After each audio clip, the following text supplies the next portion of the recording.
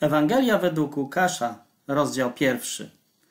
Skoro już wielu podjęło się uporządkować wydarzenia, którym pośród nas w pełni dajemy wiarę, gdyż nam to przekazali ci, którzy od początku byli naocznymi świadkami i sługami słowa, także postanowiłem, ponieważ znam wszystko z góry, opisać to Tobie po kolei, dostojny Teofilu, abyś upewnił się o prawdziwości tych wydarzeń, których Cię nauczono. Za dni Heroda, króla judzkiego, był pewien kapłan o imieniu Zachariasz ze zmiany Abiasza. Żona jego była córką z rodu Aarona i miała na imię Elżbieta. Byli oboje sprawiedliwymi przed obliczem Boga, chodząc nienagannie we wszystkich poleceniach i ustawach Pana. Nie mieli potomstwa, dlatego że Elżbieta była niepłodna. Byli oboje w podeszłym wieku. Gdy pełnił służbę kapłańską przed Bogiem, zgodnie z kolejnością przypadającej na niego zmiany, padł na niego los, według zwyczaju urzędu kapłańskiego, aby wszedł do świątyni Pana i złożył ofiarę z kadzidła. Tłumy ludzi modliły się na zewnątrz w godzinie spalania kadzidła i ukazał mu się anioł Pana, stojący po prawej stronie ołtarza, na którym spalano kadzidło. Zachariasz się przestraszył, gdy go zobaczył. Powiedział do niego anioł, nie bój się, Zachariaszu, wysłuchana została twoja modlitwa, a twoja żona Elżbieta urodzi ci syna i nadasz mu imię Jan. Będziesz miał radość i wesele. Wielu będzie się radować z jego narodzenia, bo będzie wielkim przed obliczem Pana. Mocnego wina i napoju nie będzie pić, a będzie napełniony Duchem Świętym już w łonie swojej matki. Wielu z synów Izraela nawróci do Pana, ich Boga. On pójdzie przed jego obliczem w duchu i w mocy Eliasza, aby obrócić serca ojców ku dzieciom i nieposłusznych ku zrozumieniu sprawiedliwych, aby pozyskać dla Pana lud przygotowany. Wtedy Zachariasz powiedział do anioła, jak to poznam, jestem stary, a moja żona jest niemłoda. Anioł odpowiedział mu, jestem Gabriel, który stoję przed obliczem Boga, a jestem posłany, abym mówił do ciebie i zwiastował ci tę dobrą nowinę zaniemówisz aż do dnia, w którym to się stanie, ponieważ nie uwierzyłeś moim słowom, które wypełnią się w swoim czasie. A lud oczekiwał Zachariasza i dziwili się, że pozostawał nadal w świątyni. A gdy wyszedł, nie mógł do nich mówić. Poznali, że miał widzenie w świątyni, bo dawał im znaki i pozostał niemy. Gdy wypełniły się dni jego służby, odszedł do swojego domu.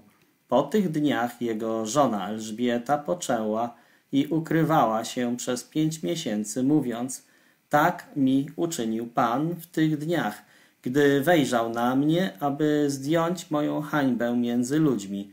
W szóstym miesiącu posłany został przez Boga anioł Gabriel do miasta Galilei zwanego Nazaret, do dziewicy zaręczonej z Józefem z domu Dawida Dziewica miała na imię Maria. Gdy anioł przybył do niej, powiedział: Bądź pozdrowiona, obdarowana łaską, Pan z tobą. Była poruszona jego słowem i myślała, co ma znaczyć to pozdrowienie. Anioł powiedział jej: Nie bój się, Mario, bo znalazłaś łaskę przed obliczem Boga. Poczniesz i urodzisz syna i nadasz mu imię Jezus. Ten będzie wielki i będzie nazwany Synem Najwyższego. Da mu Pan Bóg tron Dawida, jego ojca. Będzie królował nad domem Jakuba na wieki, a królestwu jego nie będzie końca. Następnie Maria powiedziała do anioła, jak to się stanie, skoro nie złączyłam się z mężem? Anioł odpowiedział jej, Duch Święty stąpi na ciebie, a moc Najwyższego cię zacieni. Dlatego też święte, które narodzi się z ciebie, nazwane będzie Synem Bożym. Elżbieta, twoja krewna, którą nazywano niepłodną, także w starości poczęła syna. Jest już w szóstym miesiącu ciąży, ponieważ u Boga nie będzie żadnej rzeczy niemożliwej. A Maria powiedziała, jestem służebnicą Pana. Niech mi się stanie według Twojego słowa. I anioł odszedł od niej. W tych dniach zebrała się Maria i udała się pospiesznie w górską krainę do miasta judzkiego. Przybyła do domu Zachariasza i pozdrowiła Elżbietę. Gdy Elżbieta usłyszała pozdrowienie Marii, podskoczyło dziecko w jej brzuchu, a Elżbieta została napełniona Duchem Świętym. Zawołała głośno: Wysławiona pośród kobiet i wysławiony owoc Twojego łona.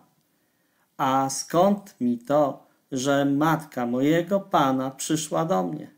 Bo oto, gdy do moich uszu doszedł głos Twojego pozdrowienia, w moim brzuchu dziecko podskoczyło z radości, a błogosławiona, która uwierzyła, że wypełnią się słowa, które Pan jej powiedział. Powiedziała Maria, wywyższa dusza moja Pana, rozradował się duch mój w Bogu, moim Zbawicielu, gdyż zobaczył uniżenie swojej służebnicy, bo odtąd uszczęśliwioną nazywać mnie będą wszystkie plemiona, bo wszystkie rzeczy uczynił mi mocny i święte jest Jego imię. Jego miłosierdzie na wszystkie wieki dla tych, którzy się Go boją. Okazał siłę, ze, okazał siłę swojego ramienia i rozproszył tych, którzy pysznią się zamysłami swoich serc. Strącił władców stronów i wywyższył uniżonych. Złaknionych napełnił dobrami, a bogatych odprawił z niczym. Pomógł Izraelowi swojemu słudze, aby pamiętać o miłosierdziu jak mówił do ojców naszych, do Abrahama i jego nasienia na wieki. A Maria została z nią około trzech miesięcy. Następnie wróciła do swojego domu. Elżbiecie wypełnił się czas jej rozwiązania i urodziła syna. Gdy usłyszeli sąsiedzi i jej krewni, że Pan uczynił swoje wielkie miłosierdzie nad nią, radowali się razem z nią. Przyszli ósmego dnia, aby obrzezać dziecię i nazwali je imieniem jego ojca Zachariasz. Odpowiedziała jego matka, o nie, będzie nazwany Janem. Powiedzieli do niej, nie ma nikogo w twoim rodzie, który byłby nazwany tym imieniem. Czynili znaki jego ojcu, jak chciałby go nazwać, a on, kazawszy podać sobie tabliczkę, napisał, Jan jest jego imię i dziwili się wszyscy. Od razu odzyskał mowę i wielbił Boga. Ogarnął strach wszystkich ich sąsiadów, a po całej górskiej krainie judzkiej te rzeczy były przedmiotem rozmów. Wszyscy, którzy o tym słyszeli, wzięli to do swojego serca, mówiąc, kim będzie to dziecię? Bo była z nim ręka Pana. Zachariasz i jego ojciec, napełniony Duchem Świętym, prorokował. Błogosławiony niech będzie Pan, Bóg Izraela, że nawiedził i odkupił swój lud. Wzbudził nam róg zbawienia w domu swojego sługi Dawida, jak zapowiedział przez swoich świętych proroków, którzy byli od wieków. Wybawienie od naszych nieprzyjaciół i z ręki wszystkich, którzy nas nienawidzą aby wypełnił miłosierdzie nad naszymi ojcami i wspomniał na jego święte przymierze, na przysięgę złożoną Abrahamowi, naszemu ojcu, że to nam da, abyśmy wybawieni z ręki naszych nieprzyjaciół bez bojaźni mu służyli w pobożności i sprawiedliwości przed jego obliczem wszystkie dni nasze a ty, dziecię prorokiem Najwyższego, będziesz nazwany, bo pójdziesz przed obliczem Pana przygotować Jego drogi. Dasz poznanie wybawienia dla Jego ludzi przez odpuszczenie ich grzechów, serdeczne miłosierdzie naszego Boga, przez które nawiedź nas jutrzenka z wysokości, aby ukazać się siedzącym w ciemności i w cieniu śmierci, dla skierowania naszych nóg na drogę pokoju. Dziecię rosło, umacniało się w duchu i było na pustkowiach, aż do dnia jego wystąpienia przed Izraelem. Ewangelia według Łukasza, rozdział drugi. I stało się w te dni, że wyszedł dekret od Cezara Augusta, aby spisano cały zamieszkany świat. Pierwszy ten spis odbył się, gdy Kwiryniusz był namiestnikiem Syrii. Wszyscy szli, aby być spisanymi, każdy do swojego miasta. Poszedł też Józef z Galilei, z miasta Nazaret, do ziemi judzkiej, do miasta Dawida, które nazywa się Betlejem, dlatego, że był z domu i z rodu Dawida. Miał tam poddać się spisowi z Marią, poźlubioną mu żoną, która była ciężarna. Gdy tam byli, nadszedł czas porodu. Urodziła swojego pierworodnego syna, owinęła go w pieluszki i położyła go w żłobie, dlatego że nie było miejsca dla nich w gospodzie. Urodziła swojego pierworodnego syna, owinęła go w pieluszki i położyła go w żłobie, dlatego że nie było miejsca dla nich w gospodzie. Pasterze w tej krainie w polu trzymali nocą straż nad swoim stadem. Anioł Pana stanął przy nich, a chwała Pana ich zewsząd oświeciła i bardzo się zlękli. Powiedział do nich anioł, nie bójcie się, bo to zwiastuję wam wielką radość, która będzie udziałem całego ludu. Dzisiaj narodził się wam Zbawiciel, którym jest Chrystus Pan w mieście Dawida. Znakiem dla was będzie to, że znajdziecie niemowlę owinięte w pieluszki leżące w żłowie. Z aniołem przybyło mnóstwo wojsk niebiańskich chwalących Boga. Chwała na wysokościach Bogu, na ziemi pokój, a w ludziach upodobanie. Gdy odeszli od nich aniołowie do nieba, pasterze mówili jedni do drugich, pójdźmy do Betlejem i oglądajmy tę rzecz, jaka się wydarzyła, którą nam Pan ujawnił. Przybyli pośpiesznie i znaleźli Marię, Józefa i niemowlę leżące w żłobie. Gdy to ujrzeli, rozgłaszali to, co zostało im powiedziane o tym dziecku. Wszyscy, którzy to słyszeli, dziwili się temu, co im opowiadali pasterze. A Maria zachowywała wszystkie te słowa, rozważając swoim sercu. Wrócili pasterze, wielbiąc i chwaląc Boga za wszystko, co słyszeli i widzieli, tak jak im było powiedziane. Gdy minęło osiem dni,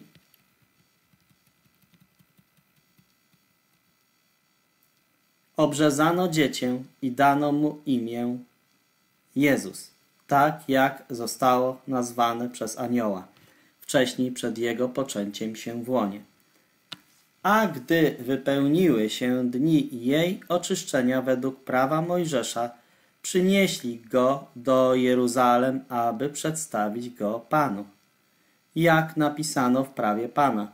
Każdy męski potomek otwierający łono będzie nazwany świętym dla Pana, a także, aby dać ofiarę według tego, co powiedziano w prawie Pana, parę synogarlic albo dwa młode gołębie. W Jerozolimie był człowiek, któremu na imię było Symeon. Człowiek ten był sprawiedliwy i pobożny, oczekujący pociechy Izraela, a Duch Święty był na nim. Zostało mu bosko objawione przez Ducha Świętego, że nie będzie oglądał śmierci, zanim nie zobaczy Chrystusa Pana. Ten przyszedł z natchnienia Ducha Świętego do świątyni. Gdy rodzice wnosili dziecię Jezus, aby uczynić z nim według zwyczaju prawa, wziął go na swoje ręce i chwalił Boga. Teraz puszczasz swojego sługę, Panie, według Twojego słowa w pokoju, gdyż oczy moje oglądały Twoje zbawienie, które zgotowałeś przed obliczem wszystkich ludów. Światłość dla objawienia poganom i chwałę ludu Twojego Izraela. Jego ojciec i matka dziwili się temu, co o nim mówiono. Błogosławił im Symeon i powiedział do Marii, jego matki, oto ten jest ustanowiony na upadek i na powstanie wielu w Izraelu i na znak, przeciwko któremu będą mówić. Twoją własną duszę przeniknie miecz. Myśli wielu serc zostaną objawione. Była tam też Anna, prorokini, córka Fanuela z plemienia Asher, która była bardzo podeszła w latach, a żyła siedem lat z mężem od swojego panieństwa. Ta była wdową do osiemdziesięciu czterech lat i nie wychodziła ze świątyni w postach i w modlitwach, służąc Bogu w nocy i we dnie. Ta też w tym czasie stanęła obok, chwaliła Pana i mówiła o Nim wszystkim, którzy oczekiwali odkupienia Jeruzalem. Gdy wykonali wszystko według prawa Pana, wrócili do Galilei, do swojego miasta Nazaret, a dziecko rosło i umacniało się, będąc pełne mądrości i łaska Boża była nad nim. Jego rodzice chodzili każdego roku do Jerozolimy na święto Paschy. Gdy miał dwanaście lat, poszli według zwyczaju tego święta. Bez wiedzy jego rodziców, po skończeniu tych dni, gdy wracali, został chłopiec Jezus w Jerozolimie. Przekonani, że jest w gromadzie idących razem, uszli dzień drogi i szukali go między krewnymi i znajomymi. Gdy go nie znaleźli, szukając go, wrócili do Jerozolimy. Po trzech dniach go znaleźli, siedzącego w świątyni pośrodku nauczycieli, gdy ich słuchał i zadawał im pytania.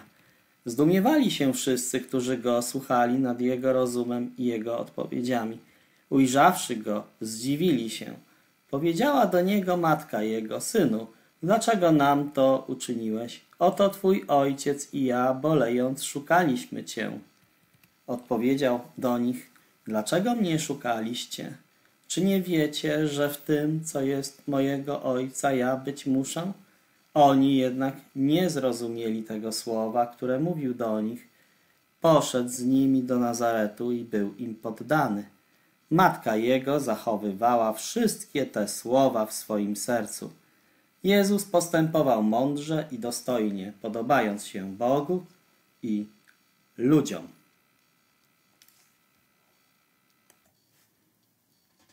Ewangelia według Łukasza, rozdział trzeci. W piętnastym roku panowania Cezara Tyberiusza Poncjusz Piłat był namiestnikiem Judei. Herod tetrarchą Galilei, Filip i jego brat tetrarchą Iturei i krainy Trachonis, a Lizaniasz tetrarchą Abileny. Za arcykapłanów Annasza i Kajfasza doszło słowo Boże do Jana, syna Zachariasza na pustkowiu. Obchodził całą okolicę nad Jordanem, głosząc chrzest upamiętania na odpuszczenie grzechów. Jak napisano w księdze proroka Izajasza, głos wołającego na pustkowiu. Gotujcie drogę Pana, prostymi czyńcie Jego ścieżki. Każda dolina będzie wypełniona, Każda góra i pagórek będzie zniżony. Krzywizny będą wyprostowane, wyboiste drogi będą gładkimi. Każde ciało będzie oglądać zbawienie Boże. Mówił ludziom, którzy wychodzili, aby być przez Niego ochrzczonymi, plemię żmi. Kto wam wskazał, żebyście uciekali przed przyszłym gniewem? Przynoście owoce godne upamiętania, a nie myślcie o sobie – ojca mamy Abrahama, bo powiadam wam, że Bóg może z tych kamieni wzbudzić dzieci Abrahamowi.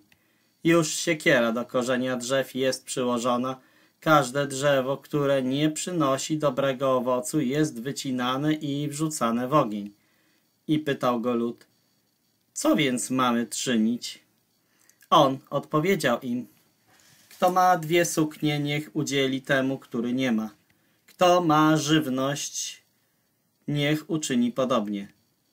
Przyszli też celnicy, aby być ochrzczeni i powiedzieli do niego, nauczycielu, co mamy czynić?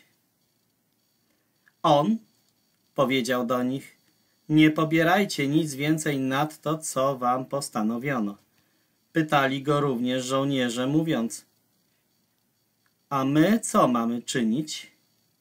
Powiedział do nich, na nikim nic nie wymuszajcie i nikogo nie oskarżajcie fałszywie, a poprzestawajcie na swoim żołdzie.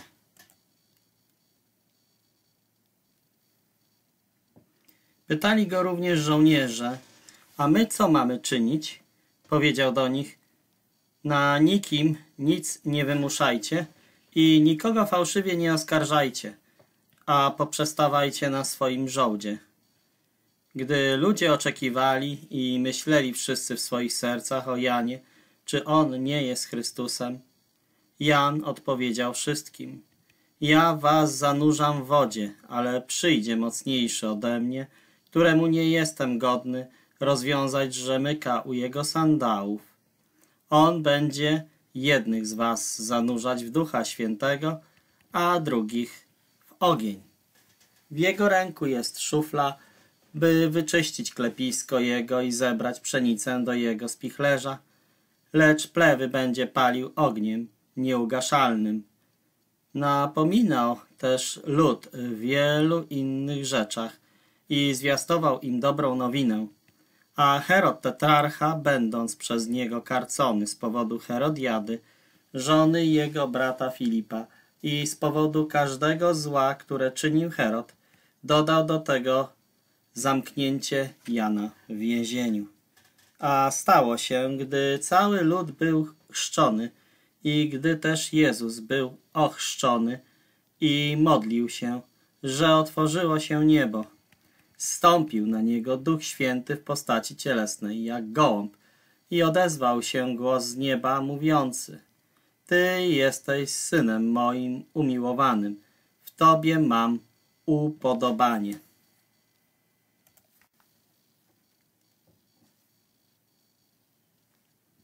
Gdy Jezus zaczął swoją służbę, miał około 30 lat, będąc, jak uważano, synem Józefa, Helego, Matata, Lewiego, Melchiego, Jannaja, Józefa, Matatiasza, Amosa, Nahuma, Hesliego, Naggaja, Mahata, Matatiasza,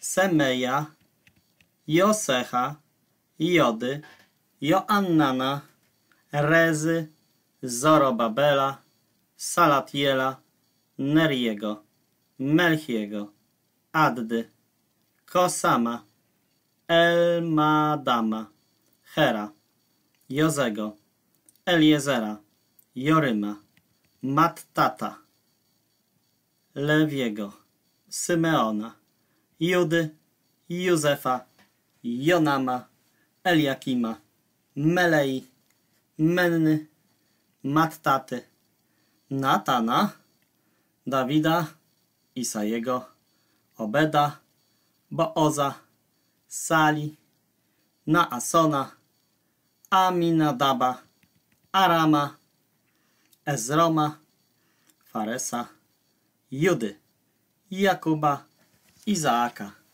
Abrahama, Tarego, Nahora, Seruga, Ragua, Faleka, Habera, Szelacha, Kainama, Arpachszada, Sema, Noego, Lamecha, Metuszelacha, Henocha, Jareda, Malaleela, Kainana, Enosza, Seta, Adama Bożego.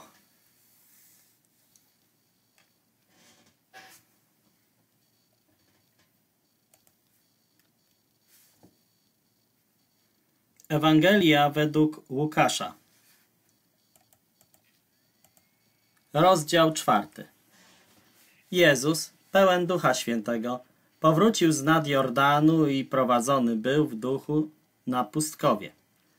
Przez czterdzieści dni był kuszony przez diabła, a przez te dni nic nie jadł, a gdy się one skończyły, był głodny. Diabeł powiedział mu, jeśli jesteś Synem Bożym, powiedz temu kamieniowi, aby stał się chlebem. Jezus odpowiedział, napisano, że nie samym chlebem żyć będzie człowiek, ale każdym słowem Boga. Zaprowadził go diabeł na wysoką górę i w mgnieniu oka pokazał mu wszystkie królestwa zamieszkałego świata.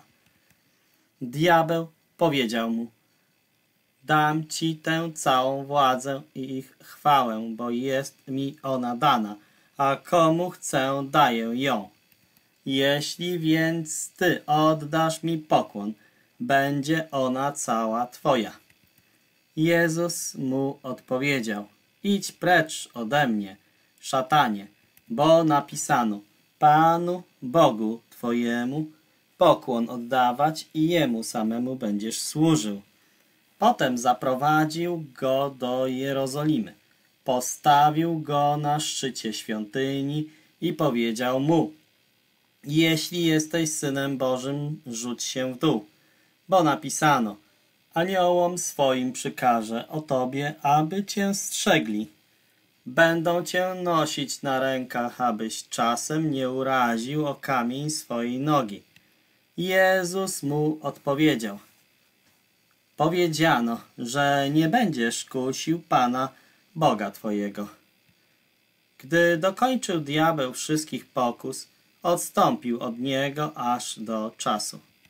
Jezus wrócił w mocy ducha do Galilei. Rozeszła się o nim wieść po całej okolicznej krainie. Nauczał w ich synagogach i był chwalony przez wszystkich. Przyszedł do Nazaretu, gdzie był wychowany, wszedł według swojego zwyczaju w dzień odpoczynku do synagogi i wstał, żeby czytać. Podano mu księgę proroka Izajasza i gdy rozwinął księgę, znalazł miejsce, gdzie było napisane Duch Pana nade mną, dlatego namaścił mnie, abym opowiadał Ewangelię ubogim. Posłał mnie, abym uzdrawiał skruczonych na duchu, abym zwiastował pojmanym wyzwolenie i ślepym przejrzenie i abym wypuścił uciśnionych na wolność, abym ogłosił miłościwy rok Pana. Gdy zwinął księgę i oddał ją słudze, usiadł. Oczy wszystkich w synagodze były na niego zwrócone. Zaczął do nich mówić, dziś wypełniło się to pismo w waszych uszach. Wszyscy dawali mu świadectwo i dziwili się słowom łaski, które pochodziły z jego ust. Mówili, czy nie jest to syn Józefa? Powiedział do nich, z pewnością powiecie mi to przysłowie. Lekarzu, ulecz samego siebie. Co słyszeliśmy, że uczyniłeś w Kapernaum, uczyń i tu, w twojej ojczyźnie. Powiedział, zaprawdę powiadam wam, żaden prorok nie jest przyjęty w swojej ojczyźnie. Prawdziwie powiadam wam, że wiele wdów było w Izraelu za dni Eliasza, gdy niebo było zamknięte przez trzy lata i sześć miesięcy, tak, że był wielki głód na całej ziemi. A do żadnej z nich nie został posłany Eliasz, tylko do Sarepty, miasta Sydonu, do kobiety będącej wdową. Wielu było trędowatych w Izraelu za proroka Elizeusza, a żaden z nich nie był oczyszczony, tylko Naaman, Syryjczyk. Wszyscy w synagodze, gdy to słyszeli, napełnieni byli wściekłością. Gdy wstali, wypchnęli go z miasta i wyprowadzili go na szczyt góry, na której zbudowane było ich miasto, aby go zrzucić na dół. Jednak on przeszedł przez środek nich i się oddalił. Zszedł do Kapernaum, miasta w Galilei i tam w dni odpoczynku ich nauczał. Zdumiewali się nad jego nauczaniem, bo słowo jego było wypowiadane z autorytetem. Był w synagodze człowiek, który miał ducha, demona nieczystego i zawołał głośno. Ach, co my mamy z Tobą, Jezusie Nazareński? Przyszedłeś wytracić nas. Wiem, kim Ty jesteś, świętym Bożym. Uciszył go Jezus. Umilknij i wyjdź z niego. Wtedy demon rzucił go na środek i wyszedł z niego, nie wyrządzając mu żadnej szkody. Wszystkich ogarnęło zdziwienie. Rozmawiali między sobą, co to za słowo, że z autorytetem i mocą rozkazuje duchom nieczystym i wychodzą. Rozchodziła się wieść o nim po wszystkich miejscach okolicznej krainy.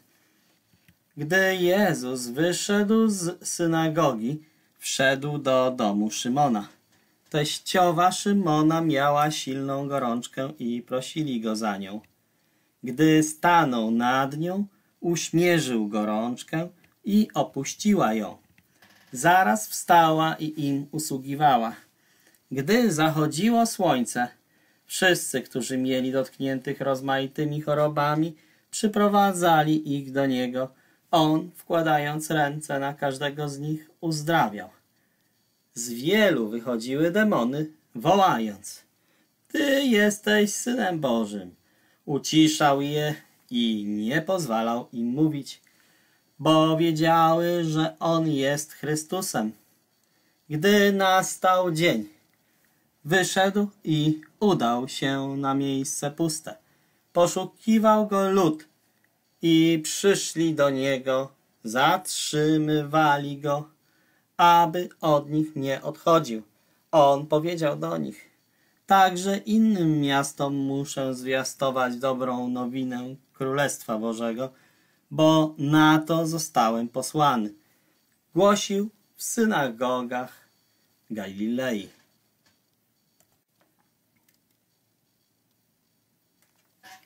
Ewangelia według Łukasza, rozdział 5. Gdy był on nad jeziorem Genezaret, a ludzie cisnęli się do niego, aby słuchać słowa Bożego, zobaczył dwie łodzie nad jeziorem. Rybacy wyszli z nich i pukali sieci. Gdy wstąpił do jednej z tych łodzi, która należała do Szymona, prosił go, aby nieco odpłynął od brzegu. Usiadł i z łodzi nauczał tłumy. Gdy przestał mówić, powiedział do Szymona: Wypłyń na głębię i zapuśćcie swoje sieci na połów.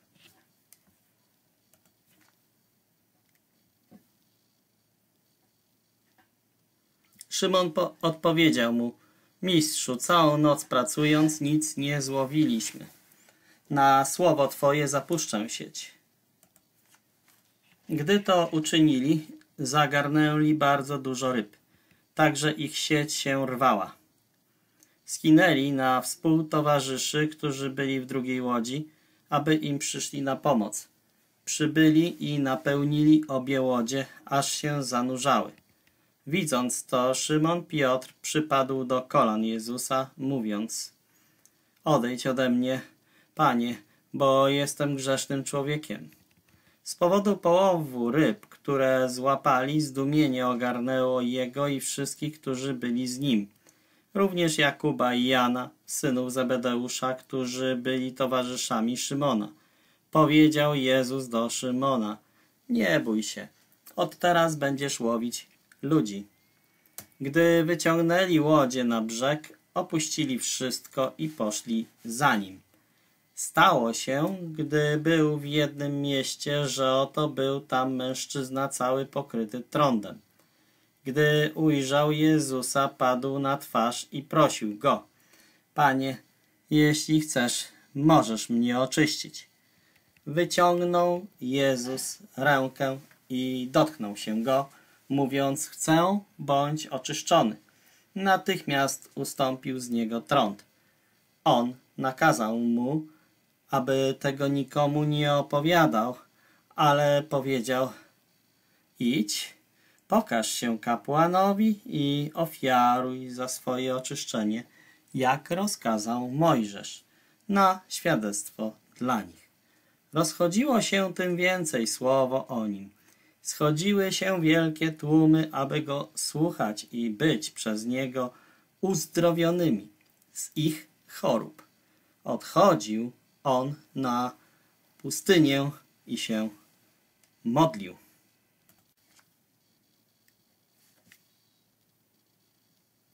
Stało się pewnego dnia, gdy nauczał, a siedzieli tam faryzeusze i nauczyciele prawa, którzy przybyli ze wszystkich miasteczek Galilei i Judy i z Jerozolimy, że moc Pana była obecna, aby On uzdrawiał.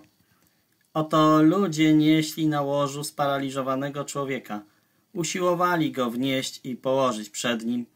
Gdy z powodu tłumu nie znaleźli sposobu, jak mogliby go wnieść, weszli na taras. Następnie przez dach spuścili go z łożem na środek, przed Jezusa.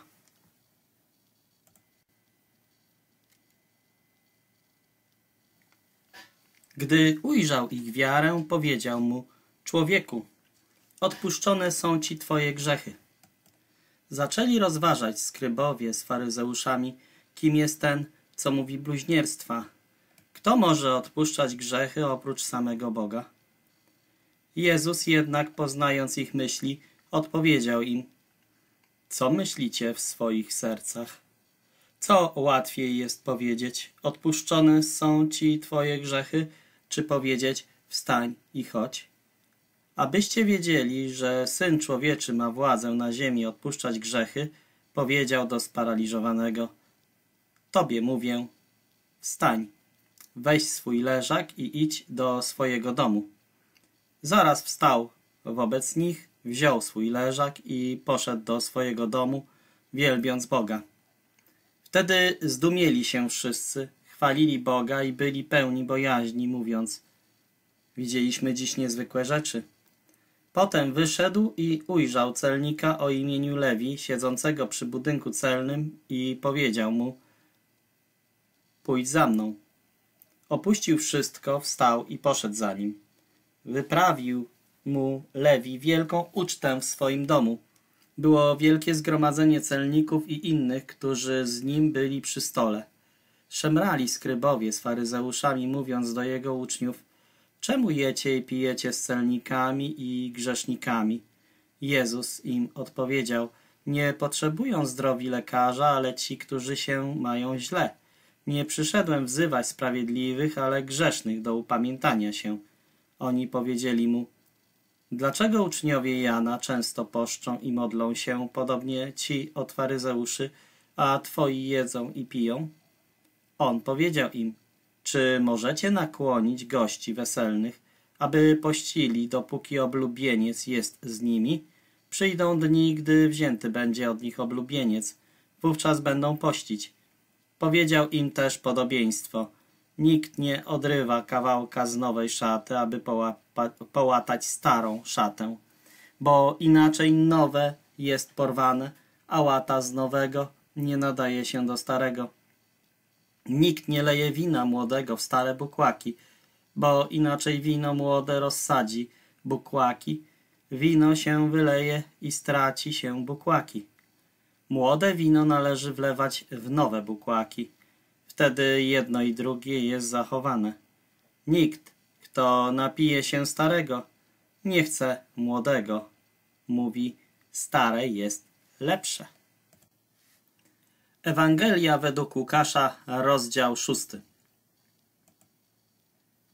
Stało się w drugi, pierwszy dzień odpoczynku, że przechodził przez zboża. Uczniowie jego rwali kłosy i jedli, rozcierając je rękami. Niektórzy z faryzeuszy powiedzieli do nich, Dlaczego czynicie to, czego nie wolno robić w dzień odpoczynku? Jezus im odpowiedział: Czy nie czytaliście tego, co uczynił Dawid, gdy był głodny, on i ci, którzy byli z nim? Jak wszedł do domu Bożego, wziął chleby pokładne i jadł, dając tym, którzy byli z nim, a przecież nie wolno było ich jeść nikomu innemu, jak tylko samym kapłanom. Powiedział im, Syn Człowieczy podobnie jest dni, Panem dnia odpoczynku. Stało się też w inny dzień odpoczynku, że wszedł do synagogi i nauczał. Był tam człowiek z uschłą prawą ręką. Śledzili go skrybowie z faryzeuszami, czy będzie uzdrawiał w dzień odpoczynku, aby znaleźć powód do oskarżenia go.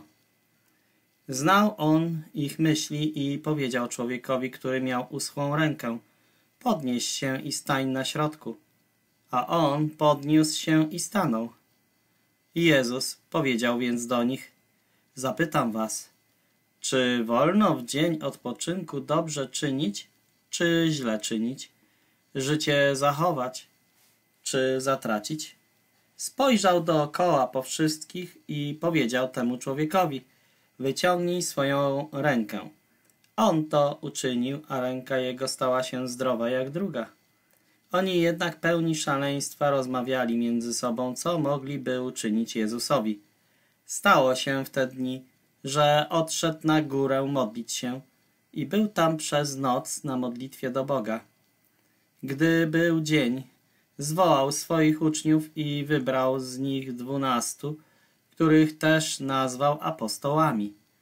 Szymona, którego też nazwał Piotrem, Andrzeja, jego brata, Jakuba i Jana, Filipa i Bartłomieja, Mateusza i Tomasza, Jakuba, syna Alfeusza i Szymona, zwanego Zelotą, Judę, syna Jakuba i Judasza Iskariotę, tego, który stał się zdrajcą.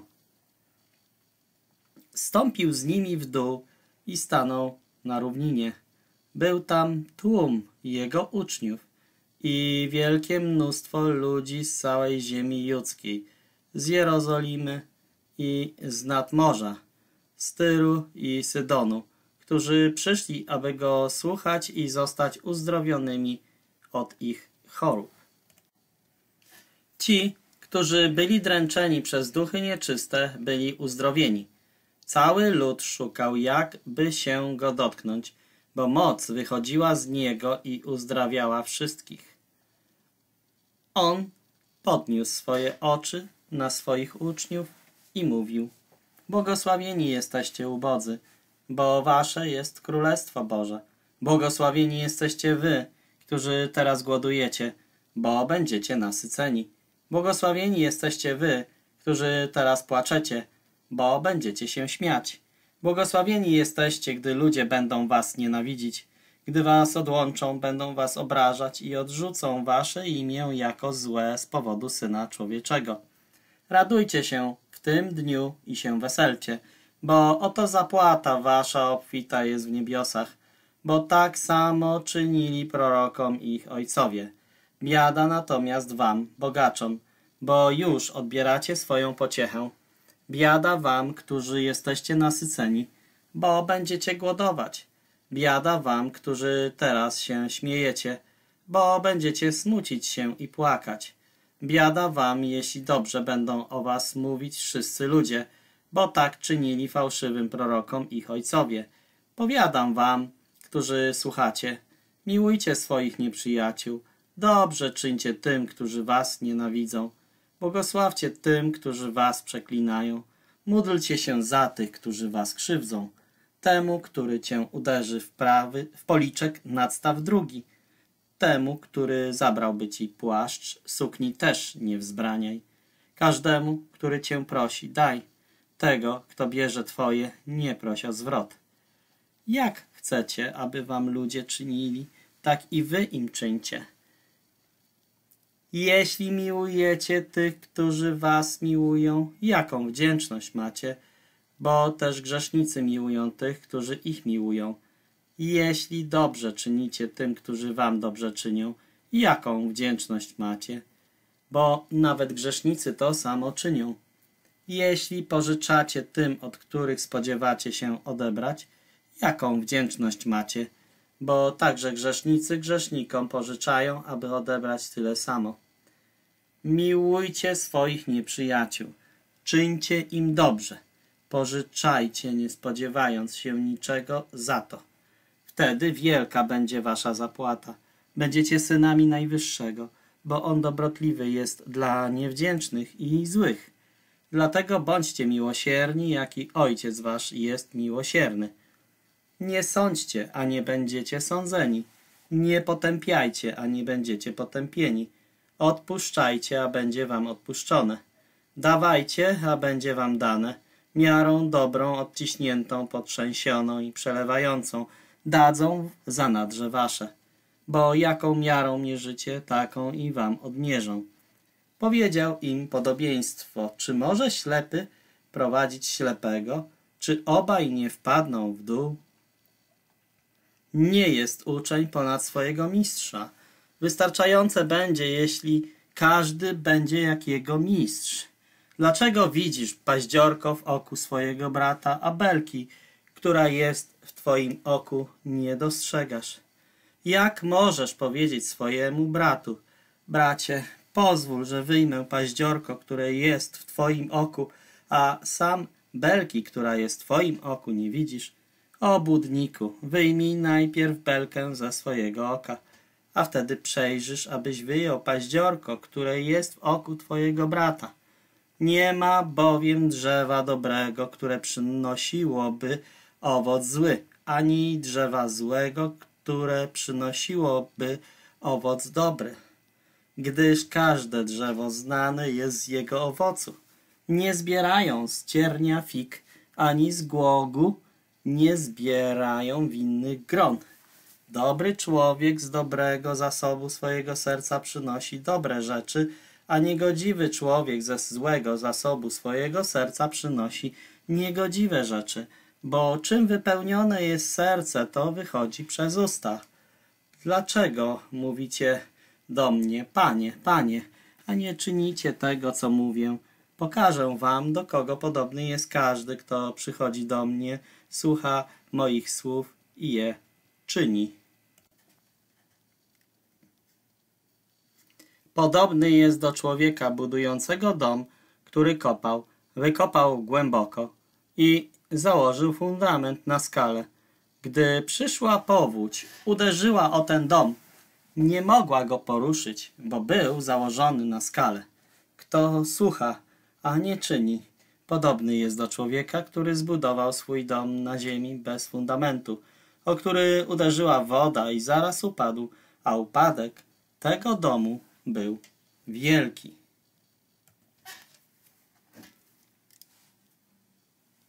Ewangelia według Łukasza, rozdział siódmy. Gdy dokończył wypowiadanie wszystkich swoich słów do słuchającego go ludu, wszedł do Kapernaum. Sługa pewnego setnika bardzo ceniony przez niego chorował i już prawie miał umrzeć. Gdy usłyszał o Jezusie, posłał do niego starszych z Żydów, prosząc go, aby przyszedł i uzdrowił jego sługę. A gdy oni przybyli do Jezusa, prosili go gorliwie, godny jest tego, abyś mu to uczynił. Miłuje nasz naród i sam zbudował nam synagogę. Wtedy Jezus wyruszył z nimi.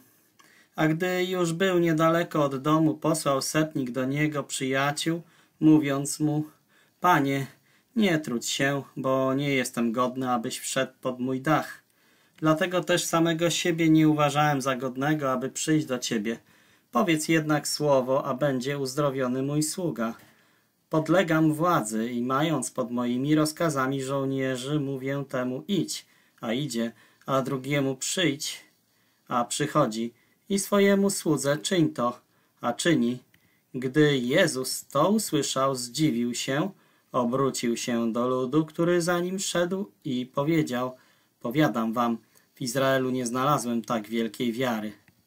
Gdy wrócili do domu, ci, którzy byli posłani, znaleźli chorego sługę zdrowym.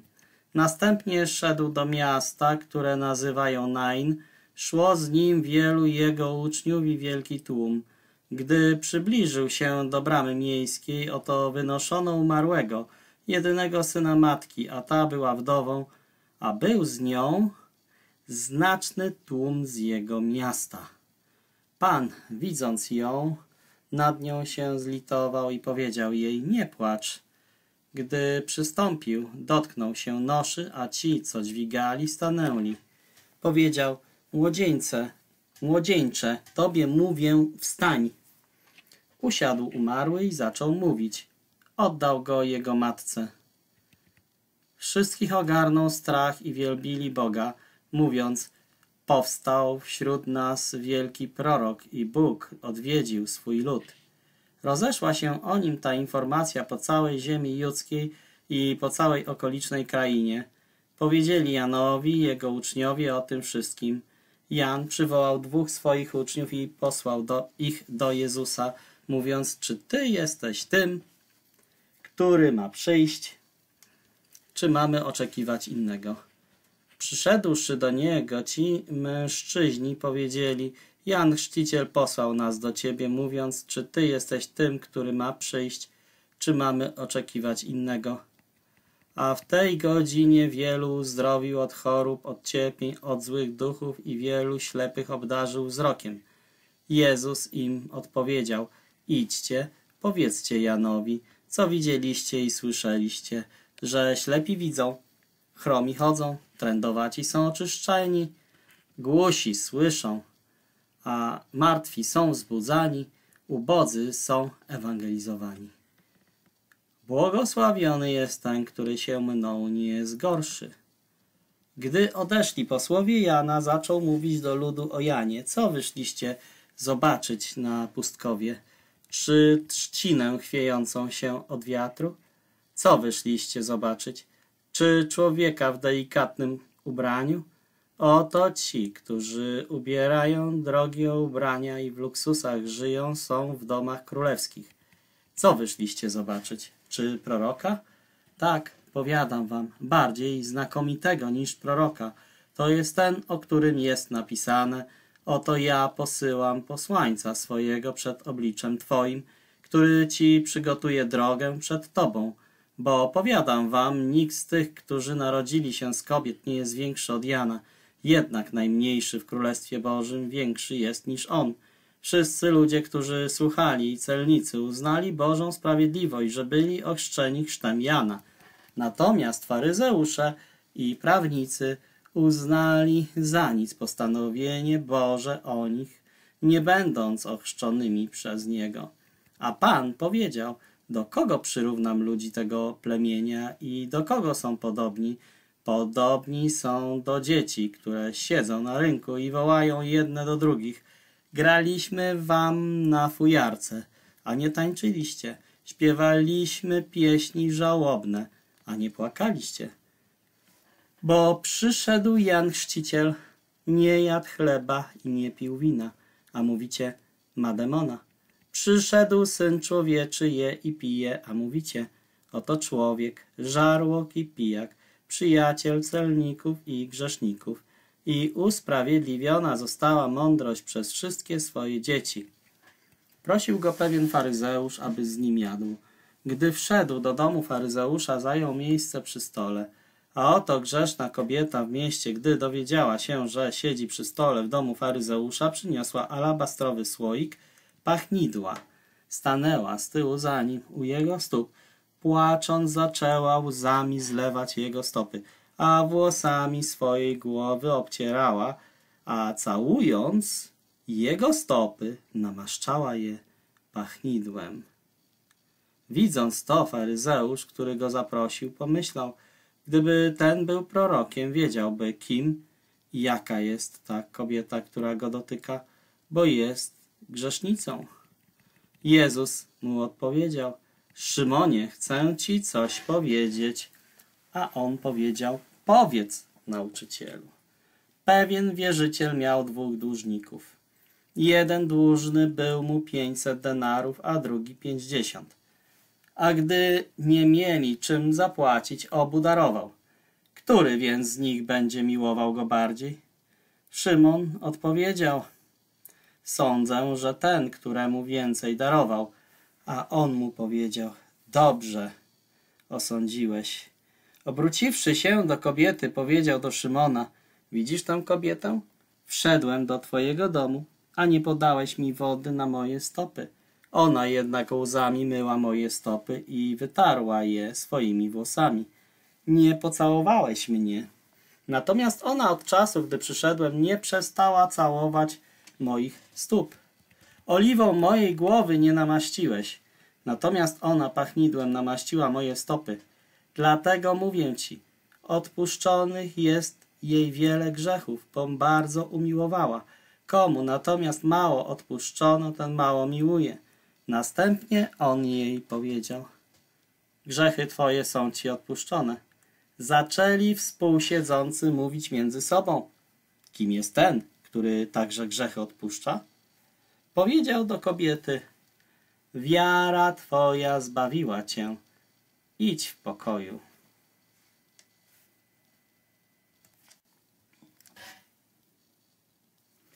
Ewangelia według Łukasza, rozdział ósmy. Potem chodził po miastach i wsiach, głosząc i zwiastując o Królestwie Bożym, a z nim dwunastu. Pewne kobiety uzdrowione od złych duchów i chorób, Maria, którą nazywano Magdaleną, z której wyszło siedem demonów, Joanna, żona Huzy, zarządcy Heroda, Zuzanna i wiele innych służyły mu ze swojego mienia.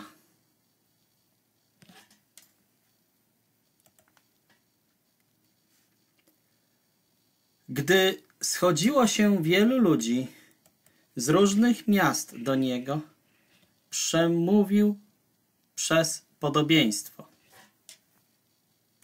Wyszedł siewca siać swoje ziarno. Gdy on siał, jedno padło obok drogi, zostało podeptane, a ptaki niebiańskie zjadły je. Drugie padło na skałę. Gdy wzeszło, uschło, dlatego że nie miało wilgoci. Inne padło między ciernie. Ciernie razem z nim wzrosły i je zadusiły. Inne padło na dobrą ziemię. Gdy wzeszło, wydało plon stokrotny. To, powiedziawszy, zawołał, kto ma uszy do słuchania, niech słucha. Pytali go uczniowie jego, co to jest za podobieństwo. A on im powiedział, wam dane jest poznać tajemnicę Królestwa Bożego, natomiast innym mówione jest w podobieństwach, aby widząc nie widzieli i słysząc nie rozumieli. To podobieństwo jest takie. Ziarnem jest Słowo Boże. Tymi obok drogi są ci, którzy słuchają. Potem przychodzi diabeł i wybiera słowo z ich serca, aby nie uwierzyli i nie byli zbawieni. Tymi na skalę są ci, którzy słuchają. Z radością przyjmują słowo. Ci nie mają korzenia, gdyż do czasu wierzą, a w czasie próby odstępują. To, które padło między ciernie, to ci, którzy słuchają słowa i odchodzą. Są zaduszeni przez troski i bogactwa oraz przyjemności życia i nie przynoszą owocu. Natomiast to w dobrej ziemi to ci, którzy w szlachetnym i dobrym sercu zachowują wytrwałości usłyszane słowo i w cierpliwości przynoszą owoc. Nikt, gdy zapala lampę, nie nakrywa jej naczyniem, ani nie stawia pod łóżkiem. Natomiast stawia ją na właściwym miejscu, aby ci, którzy wchodzą, widzieli światło bo nie ma nic ukrytego, co nie stanie się widoczne, ani zakrytego, co nie miałoby być poznane i nie wyszło na jaw. Dlatego patrzcie, jak słuchacie, bo kto ma, temu będzie dane, a kto nie ma, temu i to, co sądzi, że ma, będzie odebrane.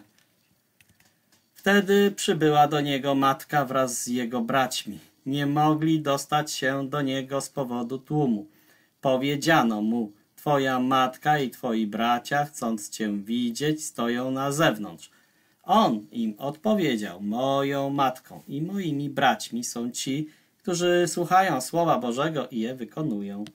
Pewnego dnia wstąpił do łodzi on i jego uczniowie i powiedział do nich, przeprawmy się na drugą stronę jeziora. I odpłynęli. Gdy płynęli, usnął. Zerwał się silny wicher i zaczęło ich zalewać. Byli w niebezpieczeństwie. Przystąpili, obudzili go, mówiąc, mistrzu, mistrzu, giniemy. A on obudził się, uciszył wiatr i wzburzone fale przestały. Nastała cisza. Powiedział im, gdzie jest wasza wiara? Bojąc się, dziwili się i mówili do siebie, kim więc jest ten, że rozkazuje wiatrom i wodom i są mu posłuszne. Przybyli do krainy Gadareńczyków, która jest naprzeciw Galilei. Gdy wyszedł na ląd, zabiegł mu drogę pewien mężczyzna z miasta. Miał on demona i od dłuższego czasu nie nosił szaty.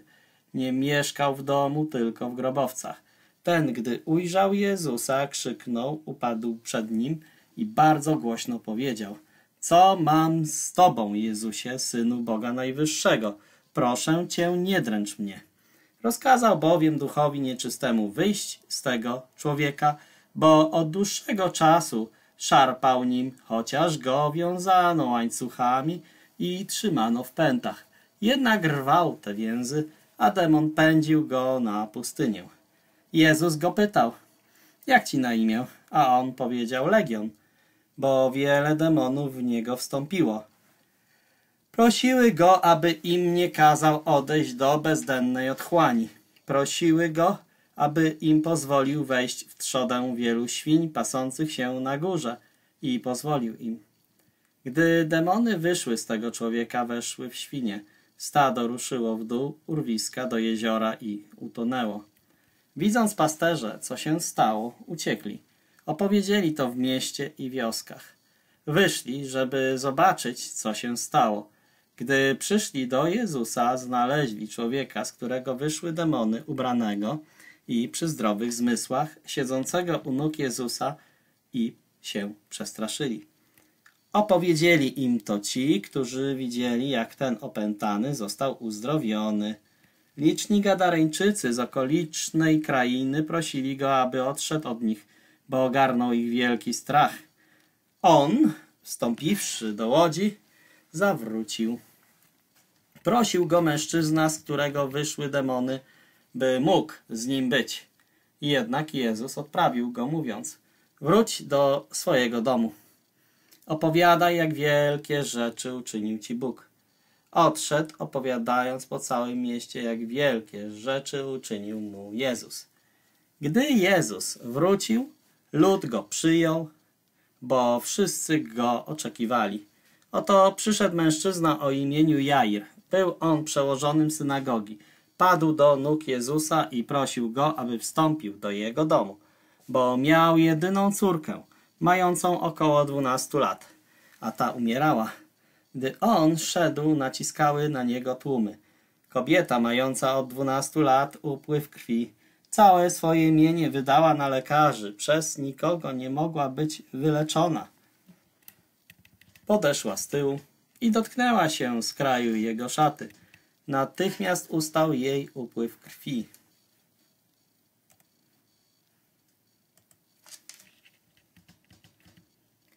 Jezus powiedział, kto mnie dotknął?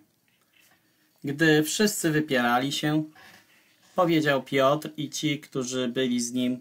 Mistrzu, tłumy cisną się i tłoczą, a ty mówisz, kto się mnie dotknął? Jezus powiedział, ktoś się mnie dotknął, bo poznałem, że moc wyszła ode mnie. Widząc kobieta, że nie może się ukryć, przystąpiła z drżeniem i padła przed nim.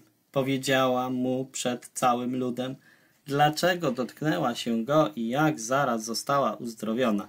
On jej powiedział, ufaj córko, wiara twoja uzdrowiła cię, idź w pokoju. Gdy on jeszcze to mówił, przyszedł ktoś z domu przełożonego synagogi, mówiąc, twoja córka umarła, nie truć nauczyciela. Jednak Jezus, gdy to usłyszał, odpowiedział mu, nie bój się, jedynie wierz, a będzie uratowana.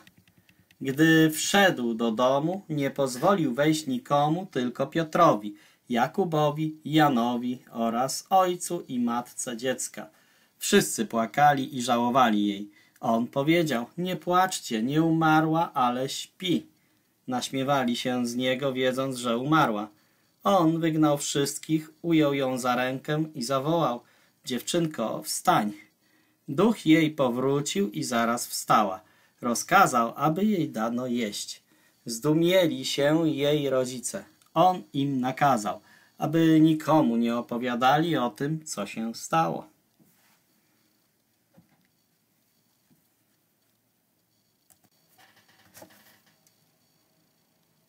Ewangelia według Łukasza, rozdział 9.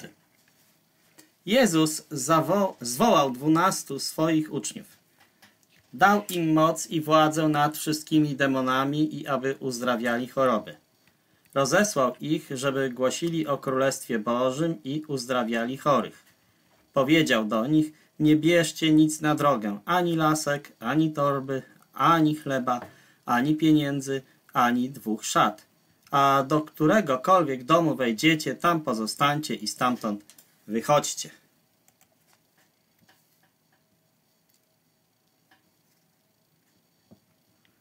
A do któregokolwiek domu wejdziecie, tam pozostańcie i stamtąd wychodźcie. Jeśli ktoś nie przyjąłby was, wychodząc z miasta, wstrząśnijcie proch ze swoich nóg na świadectwo przeciwko nim. Gdy więc wyszli, obchodzili wszystkie miasteczka, zwiastując Ewangelię i wszędzie uzdrawiając. Usłyszał tetrarcha Herod o wszystkim, co działo się przez niego. Był zaniepokojony, dlatego że niektórzy mówili, że Jan zmartwychwstał. Inni znów, że ukazał się Eliasz, a inni, że zmartwychwstał jeden z dawnych proroków. Powiedział Herod, Jana ściołem. Kim zatem jest ten, o którym słyszę takie rzeczy? I szukał sposobności, aby go zobaczyć. Gdy wrócili apostołowie, opowiadali mu, co uczynili, on wziął ich ze sobą i odszedł na osobność, przy mieście, które nazywało się Betsaida. Lud jednak dowiedział się o tym i szedł za nim. Przyjął ich, mówił im o Królestwie Bożym i leczył tych, którzy potrzebowali uzdrowienia. Dzień chylił się ku wieczorowi i przystąpiło dwunastu, mówiąc mu Rozpuść lud, aby odszedł do okolicznych miasteczek i wsi znaleźć schronienie i żywność, bo tu jesteśmy na miejscu pustym. On do nich powiedział, wydajcie im jeść. Oni powiedzieli, nie mamy więcej niż pięć chlebów i dwie ryby, chyba że pójdziemy i nabędziemy żywności dla wszystkich ludzi. Bo było tam około pięciu tysięcy mężczyzn.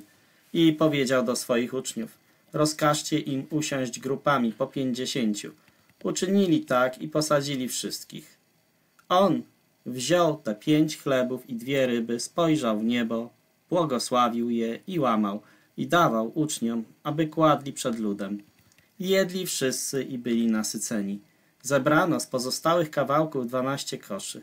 Stało się, gdy modlił się na osobności w towarzystwie uczniów, że zapytał ich, za kogo uważają mnie ludzie.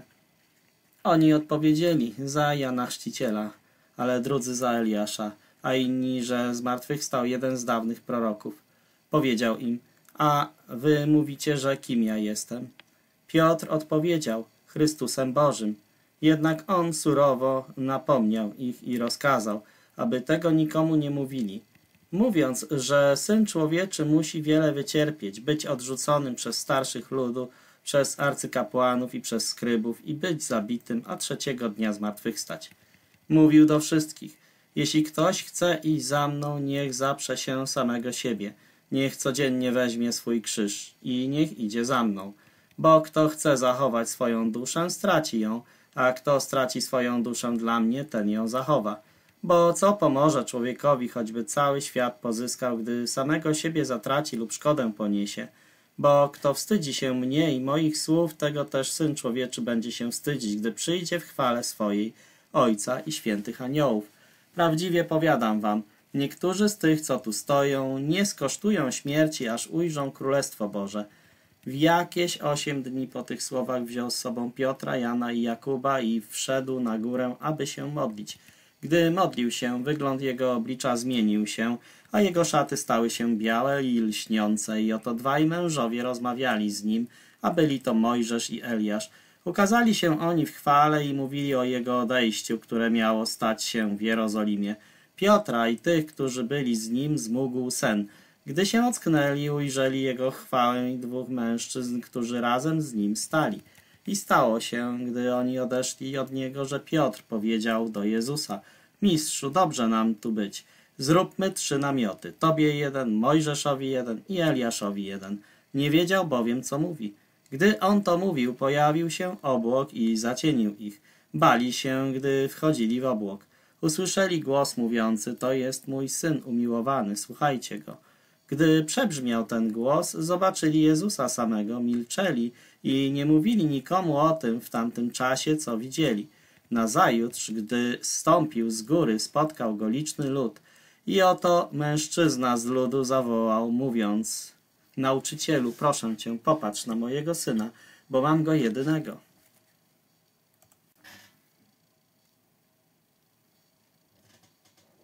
Oto duch bierze go, nagle krzyczy i targa nim tak, że się pieni i z trudem go puszcza, zostawiając go poranionego. Prosiłem twoich uczniów, aby go wygnali, a nie mogli. Wtedy Jezus odpowiedział, o narodzie niewierny i przewrotny, jak długo będę z wami i jak długo was będę znosił? Przyprowadź tu swojego syna. Wtedy, gdy on podchodził, porwał go zły duch i targał nim. Jednak Jezus uciszył ducha nieczystego, uzdrowił młodzieńca i oddał go jego ojcu. Zdumieli się wszyscy nad wielkością Boga, a gdy się wszyscy temu wszystkiemu dziwili, co czynił Jezus, powiedział do swoich uczniów. Nakłoncie swoich uszu na te słowa, bo Syn Człowieczy będzie wydany w ręce ludzkie. Jednak oni tego nie zrozumieli, było to zakryte przed nimi, tak, że nie mogli pojąć, a bali się go spytać o to słowo. Przyszło im na myśl, kto z nich mógłby być największy. Jezus, znając myśli ich serca, wziął dziecko i postawił je przy sobie – Powiedział im, kto przyjąłby to dziecko w moim imieniu, mnie przyjmuje. Kto mnie przyjmuje, przyjmuje tego, który mnie posłał. Bo kto jest najmniejszy między wami wszystkimi, ten będzie wielki. Jan odpowiedział, Mistrzu, widzieliśmy kogoś, kto w Twoim imieniu wygania demony. Zabroniliśmy mu, dlatego że z nami za Tobą nie chodzi.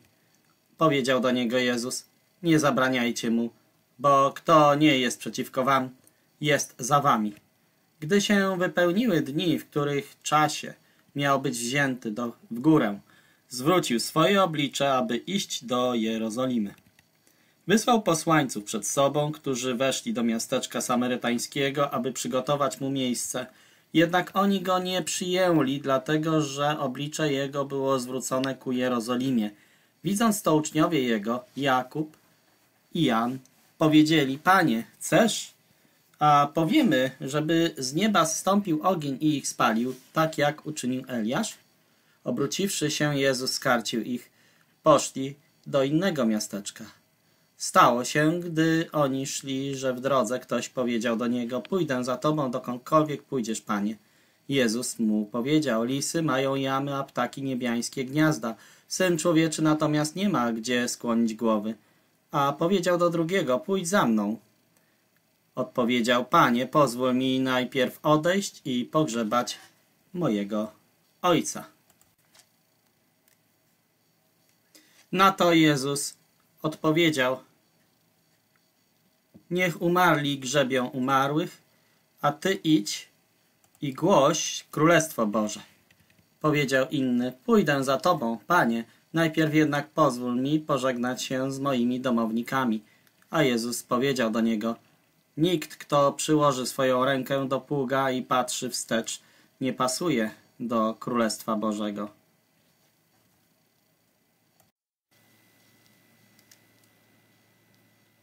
Ewangelia według Łukasza, rozdział 10. Potem wyznaczył Pan innych siedemdziesięciu, rozesłał ich po dwóch przed swoim obliczem do każdego miasta i miejsca, do którego sam miał przyjść. Mówił im, żniwo wprawdzie wielkie, ale robotników mało, proście więc Pana żniwa, aby wysłał robotników na swoje żniwo. Idźcie, oto ja posyłam was jak jagnięta między wilki. Nie noście ze sobą sakiewki, torby, ani sandałów. Nikogo w drodze nie pozdrawiajcie. Do któregokolwiek domu wejdziecie, najpierw mówcie pokój temu domowi. Jeśli tam będzie syn pokoju, spocznie na nim wasz pokój, a jeśli nie, wróci do was. W tym domu pozostańcie, jedząc i pijąc to, co mają, bo godzien jest robotnik swojej zapłaty. Nie wyprowadzajcie się z domu do domu. Jeśli do któregoś miasta przyjdziecie i przyjmą was, jedzcie to, co przed wami położą. Uzdrawiajcie chorych i mówcie im, przybliżyło się do was Królestwo Boże. Jeśli do któregoś miasta przyjdziecie, a nie przyjmą was, wyjdźcie na jego ulicę i mówcie. Nawet proch, który przylgnął do nas z waszego miasta, na was otrząsamy. Wiedzcie jednak, że się przybliżyło do was Królestwo Boże. Mówię wam, że w tym dniu lżej będzie Sodomie niż temu miastu. Biada ci, Chorazynie, biada ci, Betsaido, bo gdyby w Tyrze i w Sydomie nie miały miejsce te przejawy mocy, które były u was, dawno by się upamiętały, siedząc w worze i popiele. Dlatego Tyrowi i Sydonowi lżej będzie na sądzie niż wam. Ty, Kapernaum, czy aż do nieba wywyższone będziesz? Nie, aż do piekła będziesz strącone. Kto was słucha, mnie słucha. Kto wami gardzi, mną gardzi. A kto mną gardzi, gardzi tym, który mnie posłał.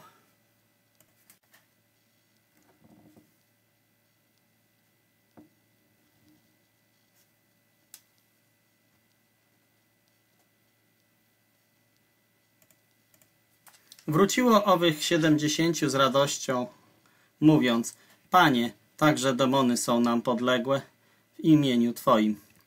Wtedy powiedział im, widziałem szatana jak błyskawica spadającego z nieba. Oto daję wam władzę, abyście deptali po wężach, po skorpionach i po całej mocy nieprzyjaciela, a nic wam nie zaszkodzi. Nie radujcie się z tego, że duchy są wam podległe, raczej się radujcie z tego, że imiona wasze zapisane są w niebie.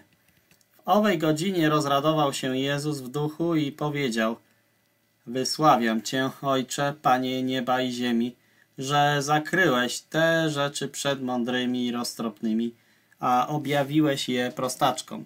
Zaprawdę, Ojcze, tak się Tobie upodobało. Wszystko dane mi jest od Ojca mojego i nikt poza Ojcem nie wie, kto to jest Syn i kto to jest Ojciec. Wie tylko Syn i ten, komu Syn zechce to objawić.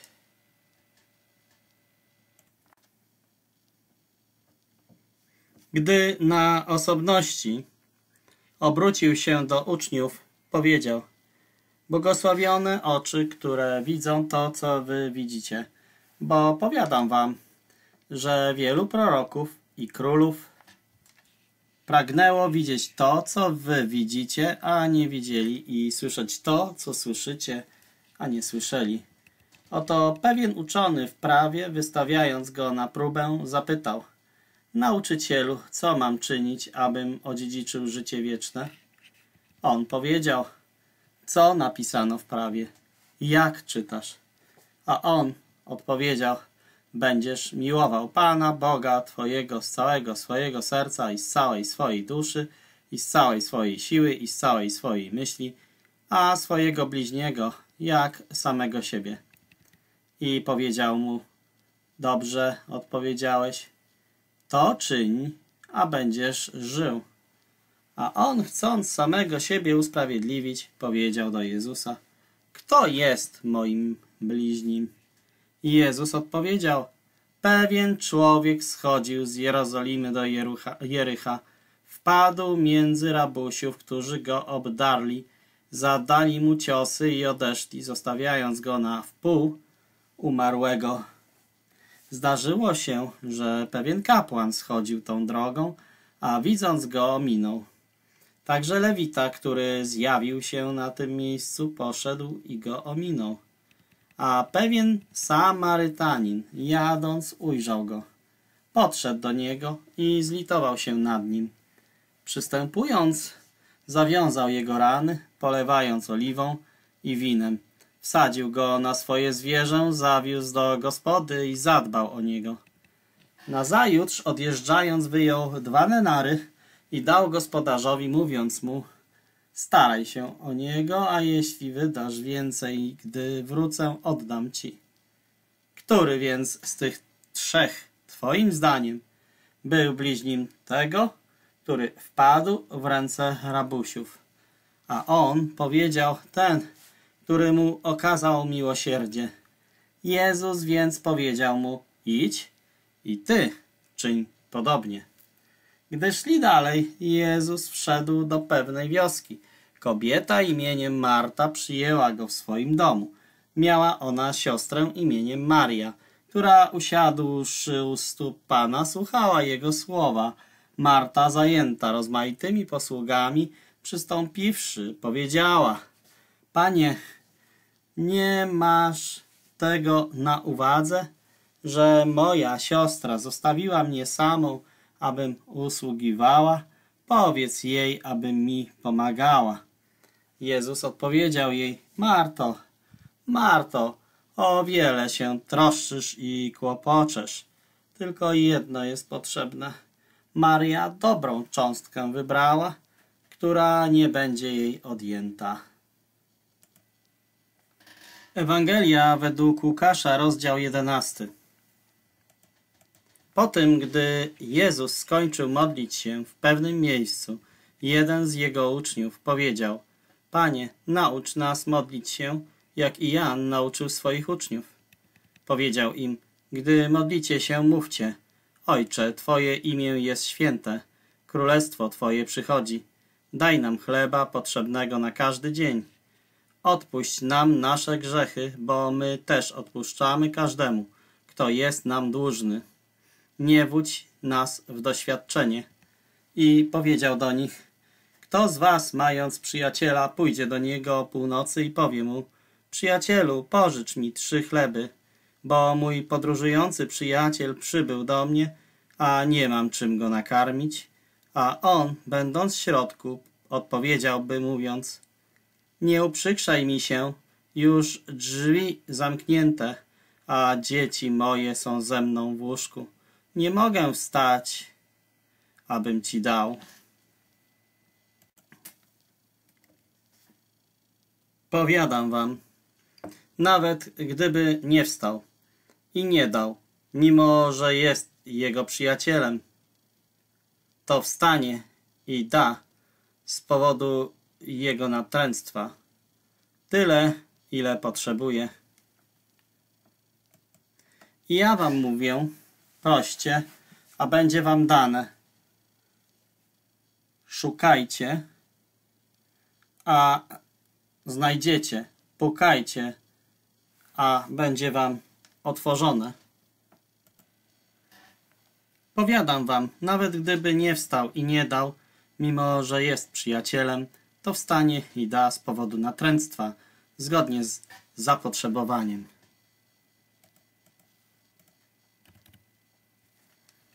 Ja wam mówię, proście, a będzie wam dane. Szukajcie, a znajdziecie. Pukajcie, a będzie wam otworzone.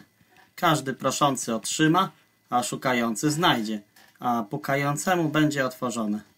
A który z was jest takim ojcem, że gdyby go syn prosił o chleb, dałby mu kamień? Albo gdyby prosił o rybę, zamiast ryby dałby mu węża? Albo gdyby go prosił o jajko, dałby mu skorpiona? Jeśli więc wy, będąc złymi, wiecie, jak dawać dobre dary swoim dzieciom, o ile bardziej Ojciec wasz, który jest w niebie, da Ducha Świętego tym, którzy go proszą. Wypędzał demona, który był niemy. Gdy wyszedł ten demon, niemy przemówił, a lud się dziwił. Niektórzy z nich mówili, przez księcia demonów wygania demony. Inni, wystawiając go na próbę, żądali od niego znaku z nieba. On natomiast, wiedząc co myślą, powiedział im Każde królestwo rozdwojone samo w sobie pustoszeje i dom rozdwojony w sobie upada. Jeśli szatan rozdwojony jest w sobie, jako stoi się jego królestwo? Bo mówicie, że przez księcia demonów wyganiam demony. Jeśli ja przez księcia demonów wyganiam demony, synowie wasi przez kogo wyganiają? Dlatego oni będą waszymi sędziami. A jeśli ja palcem Bożym wyganiam demony, wtedy przyszło do was Królestwo Boże. Gdy siłacz uzbrojony strzeże swojego dziedzińca, jego majątek spoczywa w pokoju. Gdy jednak mocniejszy od niego przychodzi i zwycięża go, zabiera całe jego uzbrojenie, na którym polegał, a łupy jego rozdziela. Kto nie jest ze mną, jest przeciwko mnie, a kto nie, ze, nie zbiera ze mną, rozprasza. Gdy duch nieczysty wyjdzie z człowieka, chodzi po miejscach suchych, szukając odpoczynku. Jeśli go nie znajdzie, mówi, wrócę do swojego domu, skąd wyszedłem. Przyszedłszy, znajduje go wymiecionym i przyozdobionym. Wtedy idzie i bierze z sobą siedem innych duchów gorszych od samego siebie. Gdy wchodzą, mieszkają tam, a ostateczny stan tego człowieka jest gorszy niż pierwszy. Gdy on to mówił, pewna kobieta z ludu głośno zawołała – Błogosławione łono, które cię nosiło i piersi, które ssałeś. On powiedział, błogosławieni są raczej ci, którzy słuchają Słowa Bożego i go strzegą. Gdy zgromadzili się ludzie, zaczął mówić, ten ród jest zły, żąda znaku. Nie będzie mu jednak dany znak, chyba że znak, jakim jest Jonasz. Bo jak Jonasz był znakiem dla mieszkańców Niniwy, tak będzie i Syn Człowieczy dla tego rodu. Królowa z południa stanie na sądzie z ludźmi tego rodu i ich potępi, bo przyszła z krańców ziemi, aby słuchać mądrości Salomona. Oto tutaj więcej niż Salomon. Ludzie z Niniwy staną na sądzie z tym rodem i go potępią, bo w wyniku zwiastowania Jonasza uznali się za winnych. Oto tutaj więcej niż Jonasz. Nikt, gdy zapali lampę, nie stawia jej w ukryciu ani pod korcem, ale na świeczniku, aby ci, którzy wchodzą, widzieli światło. Światłem ciała jest oko. Jeśli więc twoje oko jest czyste, całe twoje ciało będzie jasne, a jeśli jest złe, to i twoje ciało będzie ciemne. Patrząc więc, aby patrz więc, aby światło, które jest w tobie, nie było ciemnością. Jeśli więc całe twoje ciało będzie w świetle, nie mając w sobie jakiejś części ciemnej, będzie całe tak jasne, jak gdyby cię lampa blaskiem oświeciła. Gdy to mówił, zaprosił go pewien faryzeusz do siebie na obiad. Gdy wszedł, zajął miejsce przy stole. Widząc to, faryzeusz dziwił się, że nie umył rąk przed obiadem. Pan powiedział do niego, teraz wy, faryzeusze, oczyszczacie to, co jest zewnątrz kubka i misy, to natomiast, co jest wewnątrz was, pełne jest grabieży i złości. Bezmyślni, czy ten, który uczynił to, co jest zewnątrz, nie uczynił też tego, co jest wewnątrz? Z tego, co macie, dajcie jałmużnę, a wszystko będzie dla was czyste. Biada wam, faryzeuszom, że dajecie dziesięcinę z mięty, z ruty i z każdego ziela, a omijacie sprawiedliwość i miłość Boga. Te rzeczy trzeba było czynić, a tamtych nie zostawiać. Biada wam, faryzeusze, że miłujecie pierwsze ławy w synagogach i pozdrowienia na rynkach. Biada wam, skrybowie i faryzeusze obudnicy, bo jesteście jak grobowce, których nie widać, a ludzie, którzy po nich chodzą, nie wiedzą o tym. Pewien znawca prawa powiedział mu, nauczycielu, to mówiąc znieważasz nas.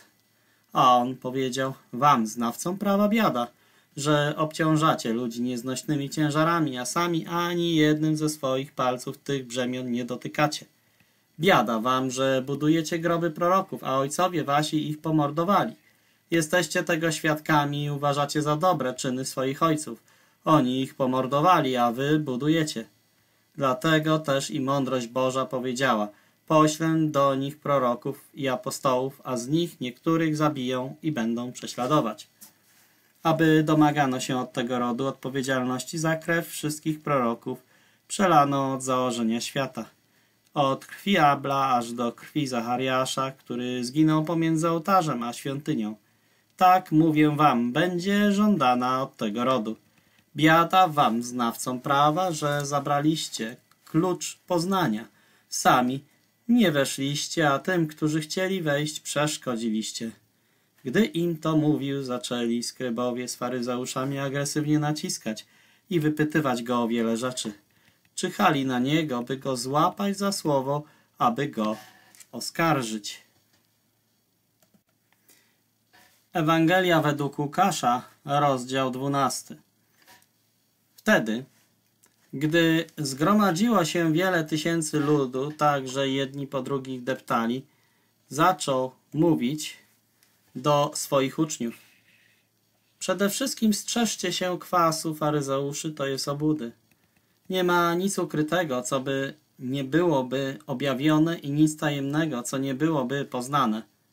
Dlatego, co mówiliście w ciemności, będzie słyszane w świetle i co szeptaliście do ucha, w komórkach głoszone będzie na dachach. Mówię wam, moim przyjaciołom, nie bójcie się tych, którzy zabijają ciała, a potem nic więcej uczynić nie mogą. Pokażę wam natomiast, kogo macie się bać. Bójcie się tego, który, gdy zabije, ma władzę rzucić do ognia piekielnego, to wam mówię, tego się bójcie. Czy pięciu wróbli nie sprzedają za dwa grosze, a ani jeden z nich nie jest zapomniany przed obliczem Bożym. Również włosy na waszej głowie wszystkie są policzone. Nie bójcie się więc, więcej znaczycie niż wiele wróbli.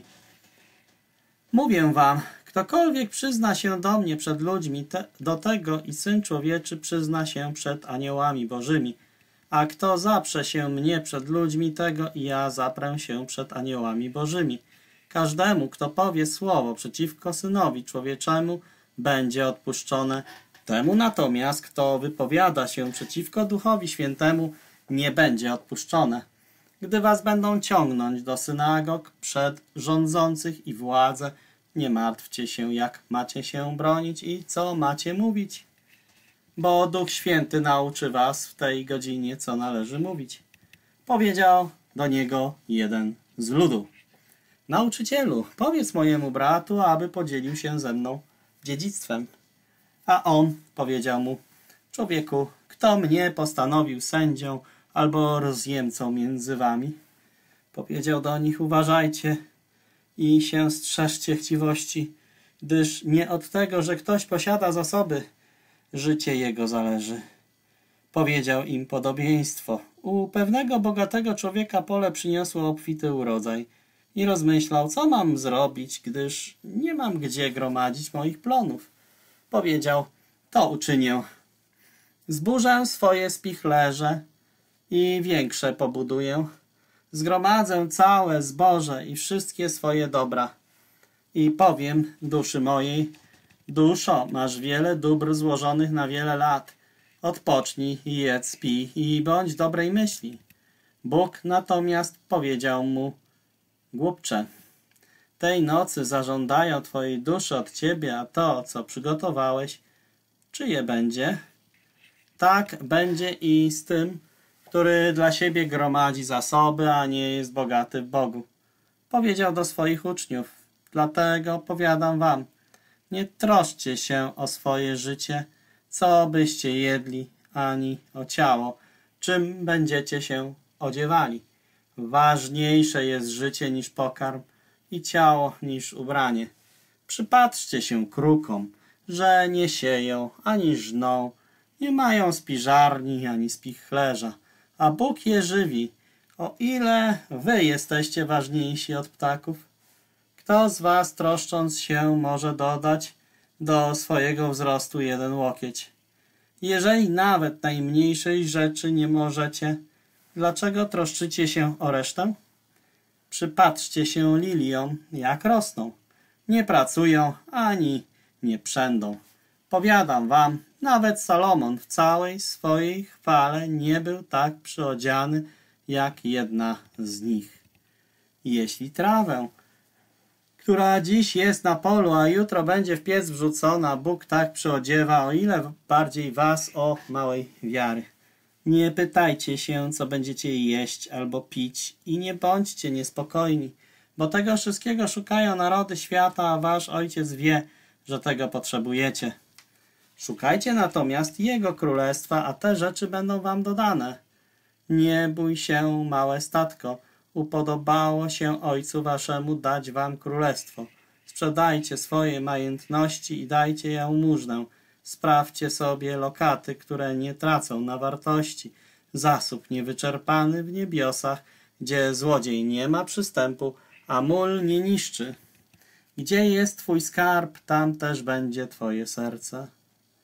Niech będą przepasane wasze biodra i lampy zapalone, a wy bądźcie podobni ludziom oczekującym swojego Pana, aż wróci z wesela, aby kiedy przyjdzie i zapuka, zaraz mu otworzono.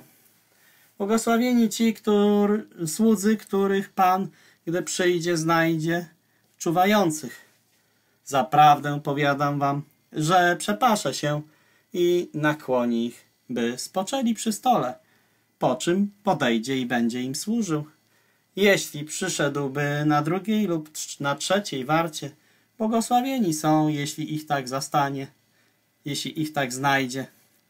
To wiedzcie, że gdyby wiedział gospodarz, o której godzinie ma przyjść złodziej, czuwałby i nie dopuściłby do grabieży swojego domu. Dlatego i wy bądźcie gotowi, bo Syn Człowieczy przyjdzie o godzinie, której się nie domyślacie. Piotr powiedział mu, Panie, do nas mówisz to podobieństwo, czy też do wszystkich? A Pan powiedział, kto jest zatem tym wiernym i roztropnym szafarzem, którego Pan postawi na swoją służbą, aby im dawał przydział zboża we właściwym czasie? Błogosławiony ten sługa, którego Pan i jego, gdy przyjdzie, znajdzie tak czyniącego.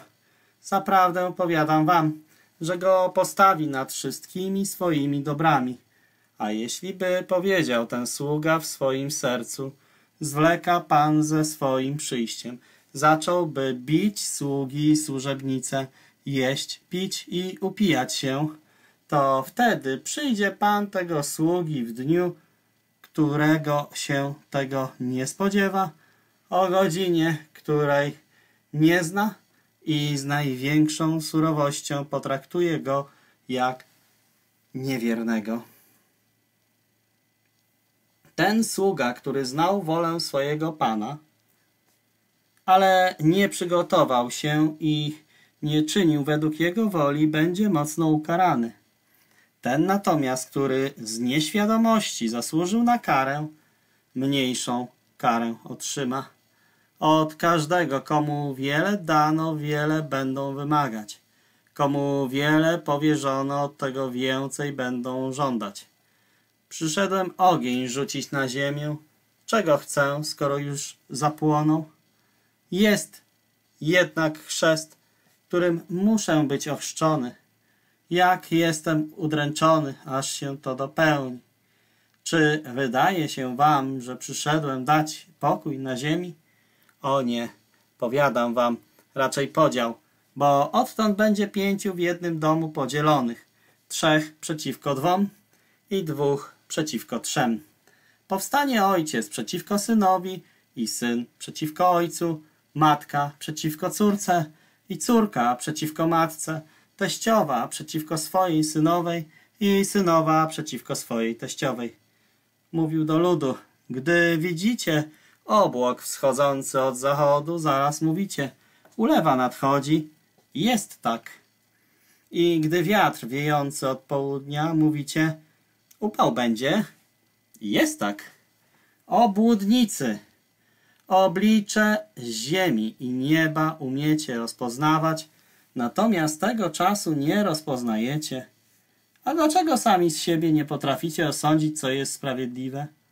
Gdy więc idziesz ze swoim przeciwnikiem do urzędu, już w drodze zadaj sobie trud, aby być pojednanym z nim, aby cię czasem nie zaciągnął przed sędziego, a sędzia nie poddał poborcy, a poborca nie wrzucił cię do więzienia. Powiadam ci, nie wyjdziesz stamtąd, póki nie oddasz do ostatniej monety. Ewangelia według Łukasza, rozdział 13. Byli tam w tym czasie obecni tacy, którzy opowiedzieli mu o Galilejczykach, których krew Piłat pomieszał z krwią ich ofiar. Jezus odpowiedział im, czy wydaje wam się, że ci Galilejczycy byli większymi grzesznikami od wszystkich innych Galilejczyków, że tak ucierpieli? O nie, mówię wam, jeśli się nie uznacie za grzeszników, wszyscy podobnie poginiecie. Albo tych osiemnastu, na których upadła wieża w Syloe i zabiła ich. Czy wydaje się wam, że oni byli większymi grzesznikami od wszystkich ludzi mieszkających w Jerozolimie?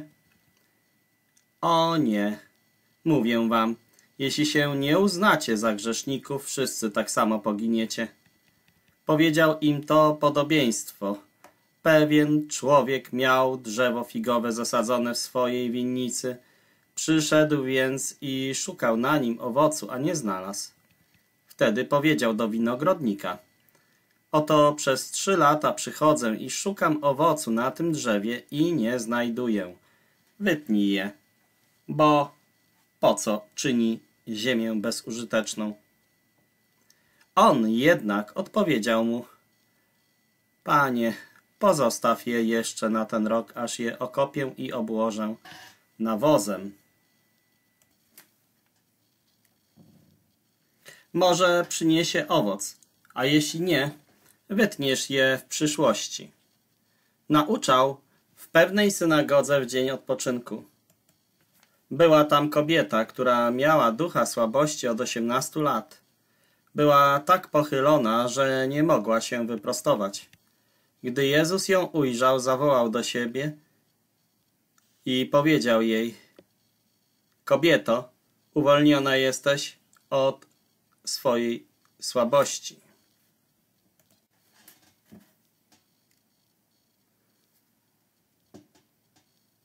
Gdy włożył na nią ręce, od razu wyprostowała się i chwaliła Boga. Przełożony synagogi, oburzony, że Jezus uzdrawiał w dzień odpoczynku, powiedział do ludzi: Jest sześć dni, w które trzeba pracować, w te więc dni przychodźcie i leczcie się, a nie w dzień odpoczynku. Wtedy Pan odpowiedział mu: Obudniku, czy każdy z was w dzień odpoczynku nie odwiązuje swojego wołu albo osła od żłobu i nie prowadzi, żeby go napoić?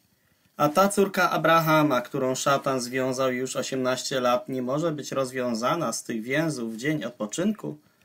Gdy on to mówił, zawstydzili się wszyscy jego przeciwnicy. Cały lud radował się ze wszystkich chwalebnych czynów, które wykonywał. Wtedy powiedział, do czego podobne jest Królestwo Boże i do czego je przyrównam. Podobne jest do ziarna gorczycy, które człowiek wziął i wrzucił do swojego ogrodu.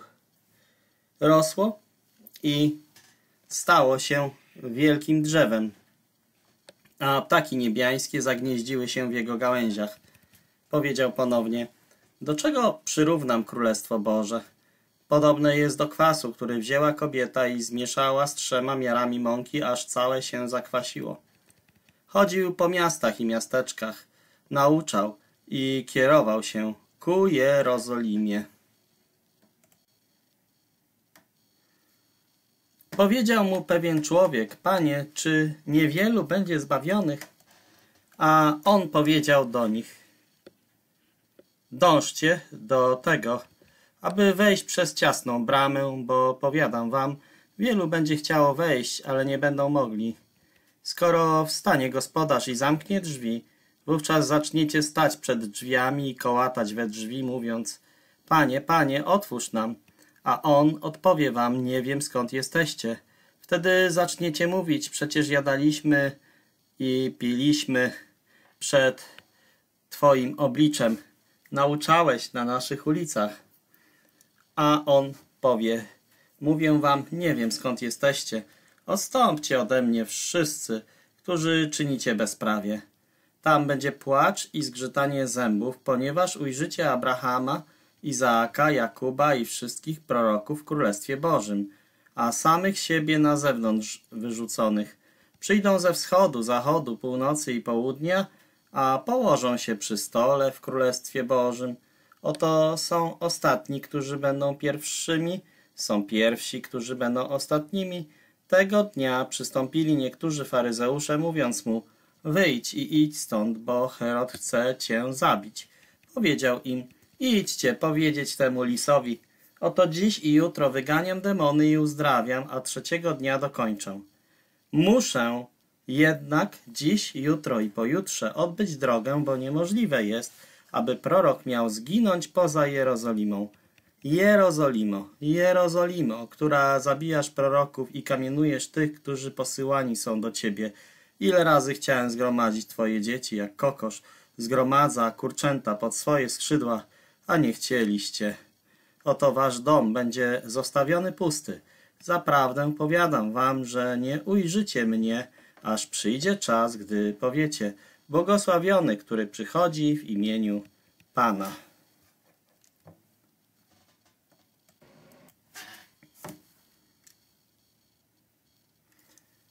Ewangelia według Łukasza, rozdział 14. Stało się, gdy Jezus wszedł w dzień odpoczynku do domu jednego z przywódców faryzeuszy, aby zjeść chleb, że oni uważnie go śledzili. Oto zjawił się pewien człowiek z puchliną wodną. Jezus odpowiedział do znawców prawa i do faryzeuszy, czy wolno w dzień odpoczynku uzdrawiać, a oni milczeli. Wtedy on ujął go, uzdrowił i odesłał. Odpowiedział do nich, kto z was, gdy jego osioł albo wół wpadnie do studni, szybko nie wyciągnie go w dzień odpoczynku. I nie mogli mu na to nic odpowiedzieć. Widząc, jak obierali pierwsze miejsca, powiedział zaproszonym podobieństwo. Jeśli jesteś przez kogoś zaproszony na wesele, nie siadaj na pierwszym miejscu, aby czasem ktoś zacniejszy nie został przez niego zaproszony. I przyszedłby ten, który ciebie i jego zaprosił i powiedziałby ci, daj temu miejsce i wtedy zająłbyś ze wstydem ostatnie miejsce. Gdybyś był zaproszony, usiądź na ostatnim miejscu, aby gdy przyjdzie ten, który cię zaprosił, powiedział Przyjacielu, siądź wyżej. Wtedy będziesz miał chwałę wobec wszystkich współsiedzących z tobą. Bo każdy, kto siebie wywyższa, będzie poniżony, a kto się uniża, będzie wywyższony. A mówił i temu, który go zaprosił, gdy wyprawiasz obiad albo wieczerzę, nie wzywaj swoich przyjaciół, ani swoich braci, ani swoich krewnych, ani bogatych sąsiadów, żeby cię czasem i oni nawzajem nie zaprosili i stałoby się to twoją odpłatą. Gdy wyprawiasz ucztę, wezwij ubogich, ułomnych, chromych i ślepych. Będziesz błogosławiony, gdyż nie mają czym ci odpłacić, będzie ci bowiem odpłacone w zmartwychwstaniu sprawiedliwych. A słysząc to, jeden ze współsiedzących powiedział mu, błogosławiony, który będzie jadł chleb w Królestwie Bożym. A on mu powiedział, pewien człowiek wyprawił wielką wieczerzę i wielu zaprosił.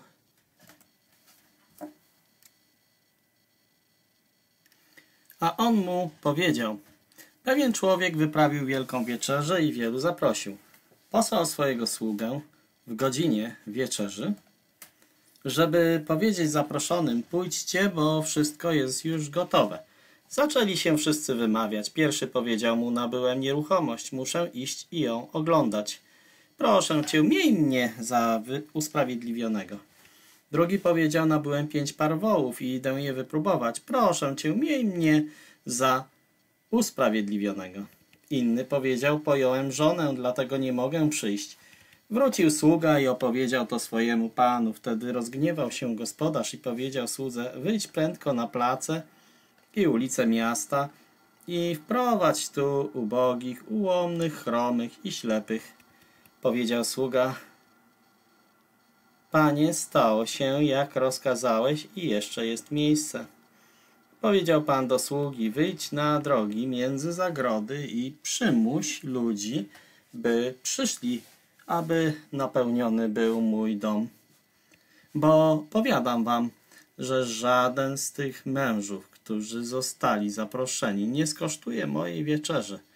Gdy szło za nim wiele ludzi, obrócił się i powiedział do nich – jeśli ktoś przyszedłby do mnie, a nie nienawidziłby swojego ojca, matki, żony, dzieci, braci, sióstr, a nawet i swojego życia, nie może być moim uczniem. Ktokolwiek nie niesie swojego krzyża, a idzie za mną, nie może być moim uczniem. Bo kto z was, chcąc zbudować wieżę, najpierw nie usiądzie i nie obliczy kosztu, czy ma za co ją dokończyć? Aby czasem, gdy założy fundament i nie będzie mógł dokończyć, wszyscy, którzy to widzą, nie zaczęli się z niego naśmiewać. Ten człowiek zaczął budować, a nie mógł dokończyć. Albo jaki król, jadąc na wojnę z drugim królem, nie usiądzie i nie naradzi się, czy w dziesięć tysięcy ludzi stawi czoła temu, który ma dwadzieścia tysięcy przeciwko niemu. A jeśli nie, to gdy tamten jeszcze jest daleko, wyprawia do niego posłów, prosząc o pokój. Tak i każdy z was, kto nie zrezygnowałby ze wszystkiego, co posiada, nie może być moim uczniem. Dobra jest sól, jeśli jednak sól zwietrzeje, czym będzie się przyprawiać? Nie nadaje się ani do ziemi, ani do nawozu. Wyrzucają taką na zewnątrz. Niech słucha kto ma uszy do słuchania. Ewangelia według Łukasza, rozdział 15. Przybliżali się do niego wszyscy celnicy i grzesznicy, aby go słuchać. Faryzeusze i skrybowie szemrali, ten przyjmuje grzeszników i jada z nimi. Powiedział im to podobieństwo – kto z was, mając sto owiec, gdy straci jedną z nich, nie zostawia dziewięćdziesiąt dziewięć na pustkowiu i nie idzie za tą, która zginęła, dopóki jej nie znajdzie? Gdy ją znajdzie, kładzie na swoje ramiona, radując się. Po przyjściu do domu zwołuje przyjaciół i sąsiadów, mówiąc do nich, radujcie się ze mną, bo znalazłem swoją owcę, która mi zginęła. Powiadam wam, że będzie więcej radości w niebie z jednego upamiętującego się, uznającego się za grzesznego, niż z niezamierzających się upamiętać dziewięćdziesięciu dziewięciu uważających się za sprawiedliwych. Albo która kobieta mając dziesięć drachm, jeśli straciłaby jedną drachmę, nie zapala świecy i nie zamiata domu, pilnie szukając, aż ją znajdzie a gdy ją znajdzie, zwołuje przyjaciółki i sąsiadki, mówiąc radujcie się ze mną, bo znalazłam drachmę, którą zgubiłam. Taka, powiadam wam, będzie radość przed aniołami bożymi z jednego, który się upamięta, uznając się za grzesznika. Nadto powiedział, pewien człowiek miał dwóch synów. Powiedział młodszy z nich do ojca, ojcze, daj mi przypadającą na mnie część majątku. Podzielił im to, co posiadał. Po niewielu dniach młodszy syn zabrał wszystko i odjechał do dalekiego kraju. Roztrwonił tam swoją majętność, żyjąc rozwiąźle. Gdy wszystko stracił, nastał wielki głód w tym kraju, a on zaczął cierpieć niedostatek poszedł i przyłączył się do jednego z obywateli tego kraju. On posłał go na swoje pola, aby pasł świnie. Pragnął napełnić brzuch swój strąkami, które jadały świnie, ale nikt mu ich nie dawał. Następnie, wejrzawszy w siebie, powiedział Ginę tu z powodu, z głodu, podczas gdy wielu najemników Mojego ojca ma dosyć chleba. Stanę, pójdę do mojego ojca i powiem mu, ojcze, zgrzeszyłem przeciw niebu i przed tobą. Już nie jestem godny nazywać się twoim synem. Uczyń ze mnie jednym ze swoich najemników.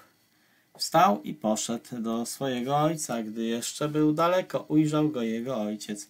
Zlitował się, wybiegł, rzucił się mu na szyję i pocałował go. Powiedział mu syn, ojcze, zgrzeszyłem przeciw niebu i przed tobą. Nie jestem już godny, aby nazywano mnie twoim synem. Ojciec powiedział do swoich niewolników, przynieście najlepszą szatę i obleczcie go. Dajcie pierścień na jego rękę i sandały na jego nogi. Przyprowadźcie utuczone ciele, zabijcie je, abyśmy jedząc się weselili. Bo ten mój syn był umarły, a ożył, zaginął, a się odnalazł. I zaczęli się weselić. A jego starszy syn był na polu. Gdy zbliżył się do domu, usłyszał muzykę i tańce. Zawołał jednego ze sług i pytał się, co się dzieje.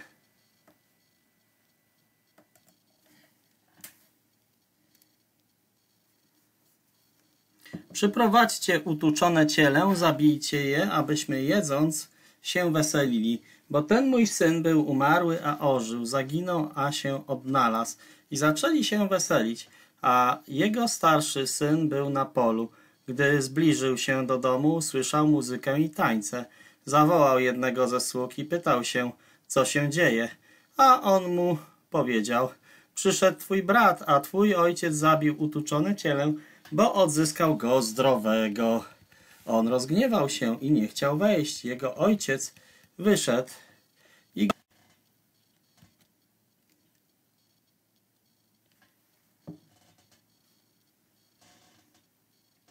A on odpowiedział ojcu, oto tyle lat służę ci i nigdy nie przekroczyłem twojego przykazania. Nigdy nie dałeś mi koźlęcia, abym radował się ze swoimi przyjaciółmi. Gdy natomiast przyszedł twój syn, ten, który przepuścił twój majątek z nierządnicami, dla niego zabiłeś utuczone ciele. A on powiedział mu, dziecko, ty zawsze jesteś ze mną i wszystko, co jest moje, jest i twoje. Jednak trzeba było się weselić i radować, że twój brat był umarły, a ponownie ożył, zaginął, a się odnalazł. Ewangelia według Łukasza, rozdział 16. Mówił też do swoich uczniów. Był pewien bogaty człowiek, który miał zarządcę, a ten był oskarżony przed nim o to, że roztrwonił jego dobra. Gdy go zawołał, powiedział mu, co to słyszę o tobie, zdaj rachunek ze swojego zarządu. Już nie będziesz mógł być zarządcą. Powiedział zarządca do samego siebie, co uczynił, gdy pan mój odbierze mi zarząd. Kopać nie mogę, a żebrać się wstydzę. Wiem, co uczynię, żeby przyjęli mnie do swoich domów, gdy zostanę usunięty z zarządu. Zawoławszy do siebie każdego z dłużników swojego pana, powiedział pierwszemu, ile jesteś winien mojemu panu? A on powiedział, sto baryłek oliwy. Powiedział mu, weź swoje kwity, usiądź i szybko napisz pięćdziesiąt. Następnie drugiemu powiedział, ile jesteś winien? On mu powiedział, sto korców pszenicy. Powiedział mu, weź swoje kwity i napisz osiemdziesiąt. I pochwalił Pan niesprawiedliwego zarządcę, że uczynił roztropnie, bo w rodzaju swoim synowie tego wieku roztropniejsi są od synów światłości. I ja wam mówię, czyńcie sobie przyjaciół niesprawiedliwym majątkiem, aby gdy skończy się, przyjęli was do wiecznych namiotów. Kto jest wierny w małej sprawie i w wielkiej jest wierny, a kto w małej jest niesprawiedliwy, jest i w wielkiej niesprawiedliwy. Jeśli więc niesprawiedliwym bogactwie nie byliście wierni, kto powierzy wam prawdziwe? Jeśli nie byliście wierni w cudzym, kto da wam własne? Żaden sługa nie może służyć dwom panom, gdyż jednego będzie miał w nienawiści, a drugiego będzie miłował, albo jednego będzie się trzymać, a drugim pogardzi. Nie możecie Bogu służyć i majątkowi. Tego wszystkiego słuchali faryzeusze, którzy byli chciwi i naśmiewali się z Niego. Powiedział im, wy jesteście tymi, którzy sami siebie uznajecie za sprawiedliwych przed ludźmi, Ale Bóg zna wasze serca, bo co u ludzi jest wyniosłe, obrzydliwością jest przed Bogiem. Do czasów Jana było prawo i prorocy. Od tego czasu zwiastowane jest Królestwo Boże i każdy się do niego wdziera przemocą. Łatwiej jest niebu i ziemi przeminąć, niż odpaść jednej kresce u litery prawa. Każdy, kto oddala swoją żonę i inną pojmuje, cudzołoży, a kto oddaloną przez męża poślubia, cudzołoży. A był pewien bogaty człowiek, który ubierał się w purpurę i delikatny len i codziennie wystawnie ucztował. Był też pewien żebrak o imieniu Łazarz, który leżał u jego wrót owrzodziały. Pragnął nasycić się odpadkami, które spadały ze stołu bogacza, a psy przychodziły i lizały jego wrzody. Umarł ten żebrak i aniołowie zanieśli go na łono Abrahama. Umarł też bogacz i został pogrzebany.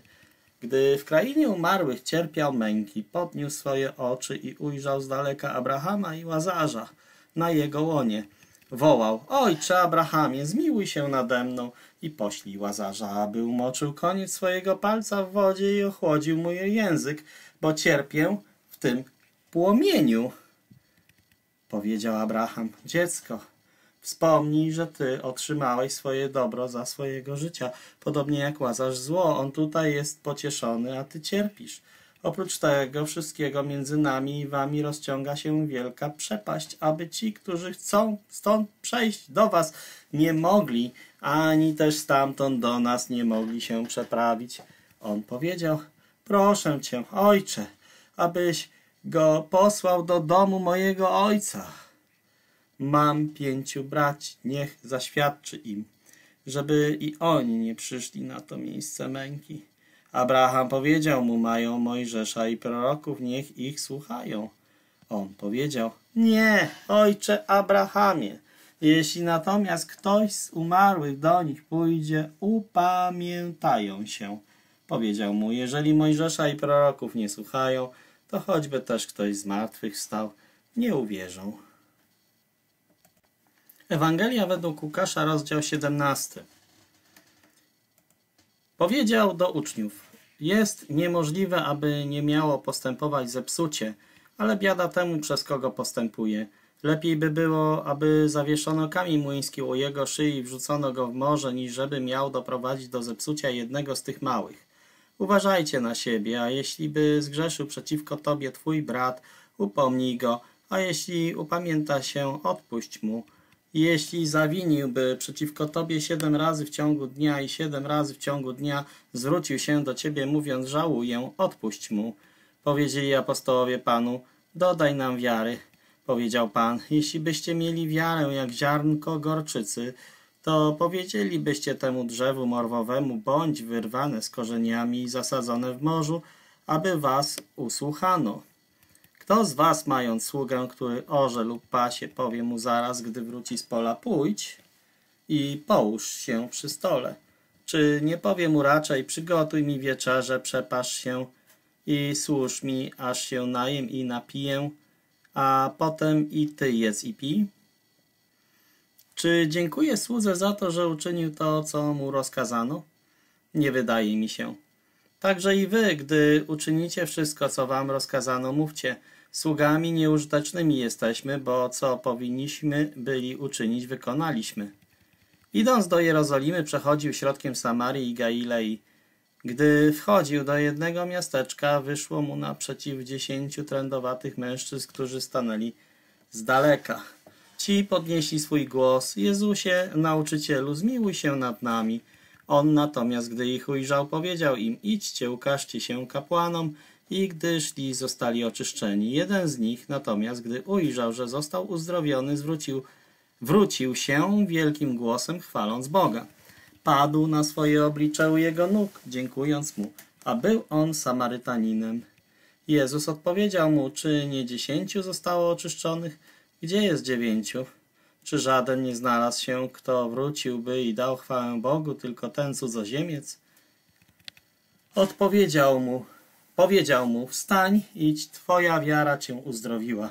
Zapytany natomiast przez faryzeuszy, kiedy przyjdzie Królestwo Boże, powiedział, odpowiedział im, Królestwo Boże nie przychodzi dostrzegalnie, nie powiedzą oto tu albo jest tam, bo oto Królestwo Boże jest pośród was. Do uczniów powiedział, przyjdą czasy, że będziecie pragnęli widzieć jeden z dni Syna Człowieczego, a nie ujrzycie. Powiedzą wam, oto tu, oto jest tam, nie idźcie tam, ani nie naśladujcie ich. Bo jak błyskawica, gdy zabłyśnie i świeci od jednej strony pod niebem, aż do drugiej strony pod niebem, tak będzie z Synem Człowieczym w swoim dniu. Najpierw trzeba, aby wiele wycierpiał i został odrzuconym przez to plemię. Jak było za dni Noego, tak będzie też za dni człowie Syna Człowieczego.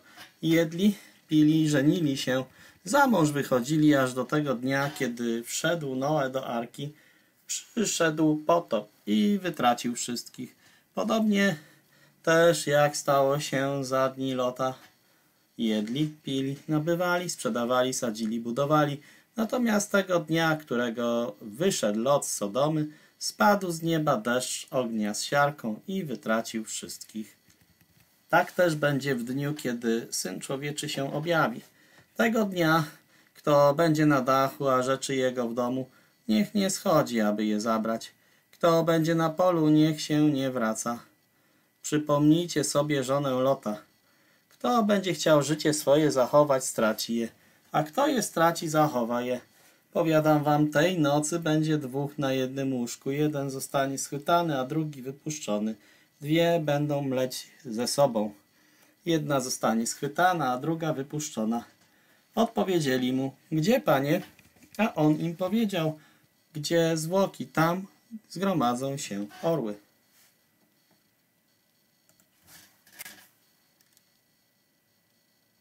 Ewangelia Łukasza, rozdział 18. Ewangelia według Łukasza. Powiedział im też podobieństwo o tym, że zawsze potrzeba się modlić i nie ustawać. W jednym mieście był pewien sędzia, który nie bał się Boga i nie liczył się z człowiekiem. Była też w tym mieście pewna wdowa, która przychodziła do niego mówiąc weź mnie w obronę przed moim przeciwnikiem i przez pewien czas nie chciał. Potem powiedział sobie, chociaż się nie boję Boga i nie liczę się z człowiekiem, to jednak ponieważ ta wdowa przysparza mi trudu, wezmę ją w obronę, aby w końcu nie przyszła i nie uderzyła mnie w twarz. Pan powiedział, posłuchajcie, co mówi ten niesprawiedliwy sędzia. A czy Bóg nie weźmie w obronę swoich wybranych, wołających do Niego we dnie i w nocy, chociaż długo zwleka w ich sprawie? Powiadam wam, że szybko weźmie ich w obronę, czy jednak Syn Człowieczy znajdzie wiarę na ziemi, gdy przyjdzie? Powiedział także do tych, którzy ufali sami w sobie, że są sprawiedliwi, a innych mieli za nic. To podobieństwo. Dwóch ludzi weszło do świątyni, aby się modlić. Jeden faryzeusz, a drugi celnik. Faryzeusz stanął i tak się sam w sobie modlił. Boże, dziękuję Ci, że nie jestem jak inni ludzie. Drapieżni, niesprawiedliwi, cudzołożni, albo jak ten celnik. Poszczę dwa razy w tygodniu, daję dziesięcinę ze wszystkiego, co mam. A celnik stojąc z daleka nie chciał nawet swoich oczu podnieść w niebo, ale bił się w piersi, mówiąc, Boże, okaż miłosierdzie mi grzesznemu. Powiadam wam, ten odszedł usprawiedliwiony do swojego domu, a nie tamten, bo każdy, kto siebie wywyższa, będzie poniżony, a kto się uniża, będzie wywyższony. Przynoszono też do niego niemowlęta, aby się ich dotknął. Widząc to, uczniowie odpędzali ich. Jezus, przywoławszy je, powiedział, pozwólcie dzieciom przychodzić do mnie, nie zabraniajcie im, bo takich jest Królestwo Boże. Zaprawdę mówię wam, ktokolwiek nie przyjmie Królestwa Bożego jak dziecko, nie wejdzie do niego. Pytał go pewien dostojnik, nauczycielu dobry, co mam czynić, abym odziedziczył życie wieczne? Jezus powiedział mu, dlaczego nazywasz mnie dobrym? Nikt nie jest dobry, tylko jeden Bóg. Znasz polecenia? Nie cudzołóż, nie zabijaj, nie kradnij, nie mów fałszywego świadectwa. Czci Twojego ojca i Twoją matkę. A on powiedział, tego wszystkiego przestrzegałem od swojej młodości. Jezus, słysząc to, powiedział mu, jeszcze jednego ci brak, sprzedaj wszystko, co masz i rozdaj ubogim, a będziesz miał skarb w niebie i przyjdź tu i chodź za mną. On, słysząc to, bardzo się zasmucił, był bowiem bardzo bogaty. Gdy Jezus ujrzał go, tak bardzo zasmuconego, powiedział, jak trudno tym, którzy mają bogactwa wejść do Królestwa Bożego. Łatwiej jest wielbłądowi przejść przez ucho igielne, niż bogatemu wejść do Królestwa Bożego. Wtedy powiedzieli ci, którzy to słyszeli, kto może być zbawiony? On powiedział, co niemożliwe jest u ludzi, możliwe jest u Boga. Powiedział Piotr, oto my wszystko opuściliśmy i poszliśmy za Tobą. A on powiedział im, zaprawdę powiadam wam, że nie ma nikogo, kto by opuścił dom, albo rodziców, albo braci, albo żonę, albo dzieci. Dla Królestwa Bożego, kto nie odbierze daleko więcej w obecnym czasie, a w przyszłym wieku życia wiecznego. Wziął dwunastu i powiedział im, oto idziemy do Jerozolimy, wypełni się wszystko, co jest napisane przez proroków o Synu Człowieczym. Bo będzie wydany poganom, będzie wyśmiany, znieważony i opluty, Obi- ubiczują go i zabiją, ale trzeciego dnia zmartwychwstanie. Oni nic z tego nie zrozumieli, było to słowo zakryte przed nimi i nie pojęli tego, co było powiedziane. Gdy zbliżał się do Jericha, pewien ślepy siedział przy drodze żebrząc. Słysząc, że lud przechodził, pytał, co się dzieje. Powiedziano mu, że Jezus z Nazaretu przechodzi. Zawołał, Jezusie, synu Dawida, zmiłuj się nade mną. Idący wcześniej uciszali go, aby milczał, tym bardziej wołał, synu Dawida, zmiłuj się nade mną. Gdy Jezus stanął, kazał go przyprowadzić do siebie, a gdy się przybliżył, spytał go, co chcesz, abym ci uczynił? On powiedział, pań, abym przejrzał. Jezus mu powiedział, przejrzyj, wiara twoja cię uzdrowiła. Natychmiast przejrzał i szedł za nim, wielbiąc Boga. Cały lud widząc to, oddał chwałę Bogu. Ewangelia według Łukasza, rozdział 19. Potem wszedł i przechodził przez Jericho. Zacheusz, będący przełożonym nad celnikami, był bogaty. Chciał widzieć Jezusa, kto to jest, i nie mógł z powodu tłumu ludzi, bo był niski. Pobiegł naprzód, wszedł na sykomorę, aby go zobaczyć, bo miał tamtędy przechodzić. Gdy przyszedł na to miejsce, spojrzał Jezus w górę i gdy go ujrzał, powiedział do niego, Zacheuszu, zejdź szybko, bo dziś muszę się zatrzymać w twoim domu. Zszedł pośpiesznie i przyjął go z radością. Widząc to, wszyscy szeptali, do człowieka grzesznego przyszedł w gościnę. Zacheusz natomiast stanął i powiedział do Pana, Panie, oto połowę swoich zasobów daję ubogim, a jeśli na kimś coś wymusiłem, oddaję to czterokrotnie. Jezus powiedział mu, dziś zbawienie stało się udziałem tego domu, dlatego że on też jest synem Abrahama. Bo przyszedł Syn Człowieczy, aby szukać i zbawić to, co zginęło. Gdy oni słuchali tego, powiedział im jeszcze podobieństwo, dlatego że był blisko Jerozolimy, a im wydawało się, że wkrótce ma się objawić Królestwo Boże. Pewien człowiek szlachetnego rodu pojechał do dalekiej krainy, żeby objąć dla siebie królestwo i powrócić. Zawołał dziesięciu swoich sług, dał im dziesięć min i powiedział do nich: Inwestujcie je, aż przyjdę. Jego obywatele nienawidzili go i wysłali za nim wiadomość: Nie chcemy, aby on królował nad nami. Gdy wrócił po przyjęciu królestwa, rozkazał przywołać do siebie te sługi, którym dał pieniądze, aby się dowiedzieć, ile każdy zyskał na inwestowaniu. Przyszedł pierwszy, mówiąc: Panie, twoja mina zarobiła dziesięć min. Powiedział mu: Dobrze, sługo dobry, dlatego że byłeś wierny w najmniejszym, miej władzę nad dziesięcioma miastami. Przyszedł drugi, mówiąc: Panie, twoja mina zarobiła pięć min. Temu też powiedział: Bądź nad pięcioma miastami. Następny przyszedł, mówiąc: Panie, oto twoja mina, którą miałem schowaną w chustce. Bałem się ciebie, że jesteś człowiekiem srogim, że podnosisz, czego nie położyłeś i żniesz, czego nie posiałeś. Powiedział mu: Za słowa z twoich ust sądzę cię, zły sługo. Wiedziałeś, że jestem człowiekiem srogim. Podnoszę, czego nie położyłem i żnę, czego nie posiałem. Dlaczego nie oddałeś moich pieniędzy do banku? Po powrocie odebrałbym je z zyskiem. Powiedział tym, którzy stali obok, weźcie od niego tę minę i dajcie temu, który ma dziesięć min. Powiedzieli mu, panie, ma dziesięć min. Powiadam wam, że każdemu, który ma, będzie dane, a temu, który nie ma i to, co ma, będzie odjęte. Ponadto moich nieprzyjaciół, którzy nie chcieli, abym królował nad nimi, przyprowadźcie tu i zabijcie ich przede mną. Gdy to powiedział, szedł dalej, zdążając do Jerozolimy. Gdy przybliżył się do Petwage i Betanii ku górze zwanej Oliwną, posłał dwóch ze swoich uczniów, mówiąc Idźcie do miasteczka, które jest przed wami, a gdy wejdziecie do niego, znajdziecie uwiązanego osiołka, na którym żaden człowiek nigdy nie siedział. Odwiążcie i przyprowadźcie. Jeśli ktoś spytałby was, dlaczego go odwiązujecie, tak mu powiecie. Pan go potrzebuje. Odeszli ci, którzy byli posłani i znaleźli, jak im powiedział. Gdy odwiązywali osiołka, powiedzieli jego panowie do nich, dlaczego odwiązujecie osiołka? Oni powiedzieli, Pan go potrzebuje. Przyprowadzili go do Jezusa, włożyli swoje szaty na osiołka i posadzili Jezusa na nim. Gdy on jechał, słali swoje szaty na drodze. Gdy przybliżał się już do podnóża Góry Oliwnej, zaczęło całe mnóstwo uczniów głośno, radując się, chwalić Boga za wszystkie przejawy mocy, które widzieli.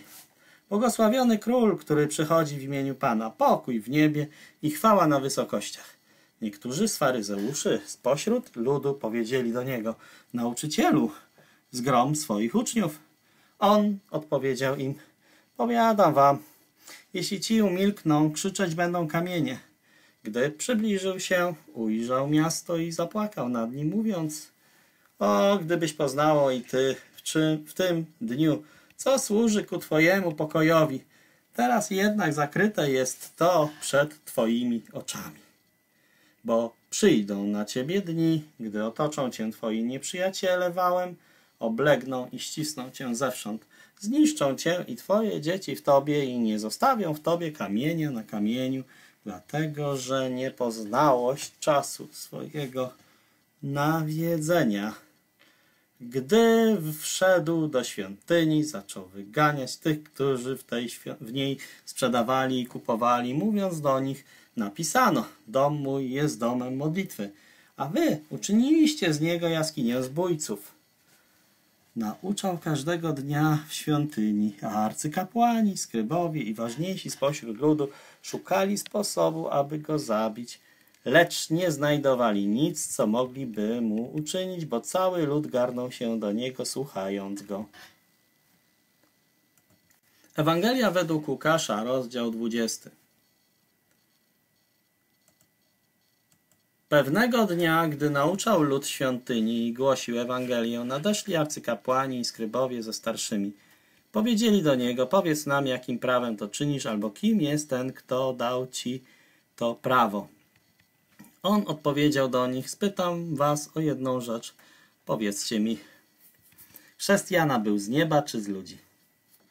Rozmawiali o tym między sobą. Jeśli powiemy z nieba, powie, dlaczego zatem nie uwierzyliście mu. Jeśli natomiast powiemy z ludzi, cały lud nas ukamienuje, ponieważ są przekonani, że Jan jest prorokiem.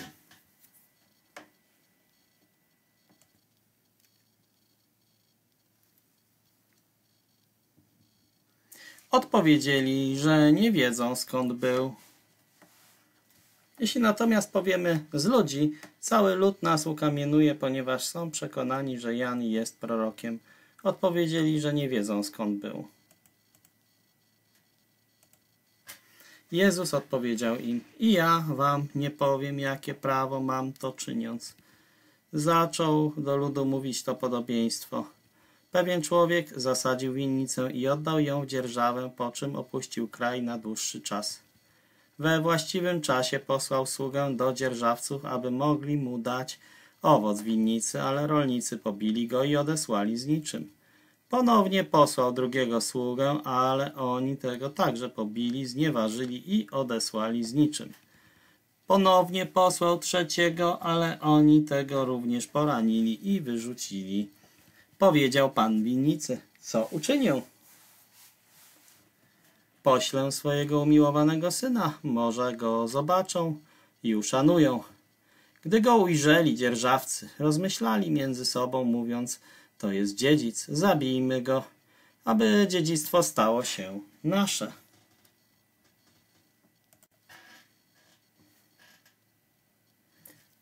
Wyrzucili go z winnicy i zabili.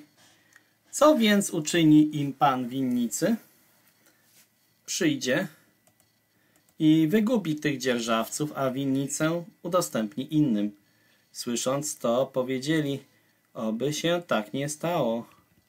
On spojrzał na nich i powiedział, co więc znaczy to, co napisano? Kamień, który odrzucili budujący, ten stał się kamieniem węgielnym.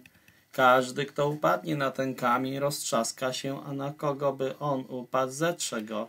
Starali się arcykapłani i skrybowie o to, aby go pojmać w tej godzinie, ale bali się ludu, bo poznali, że przeciwko nim powiedział to podobieństwo. Śledząc go, posłali szpiegów, którzy udając sprawiedliwych, mogliby złapać go za jego słowo, aby wydać go przywódcom i władzy namiestnika.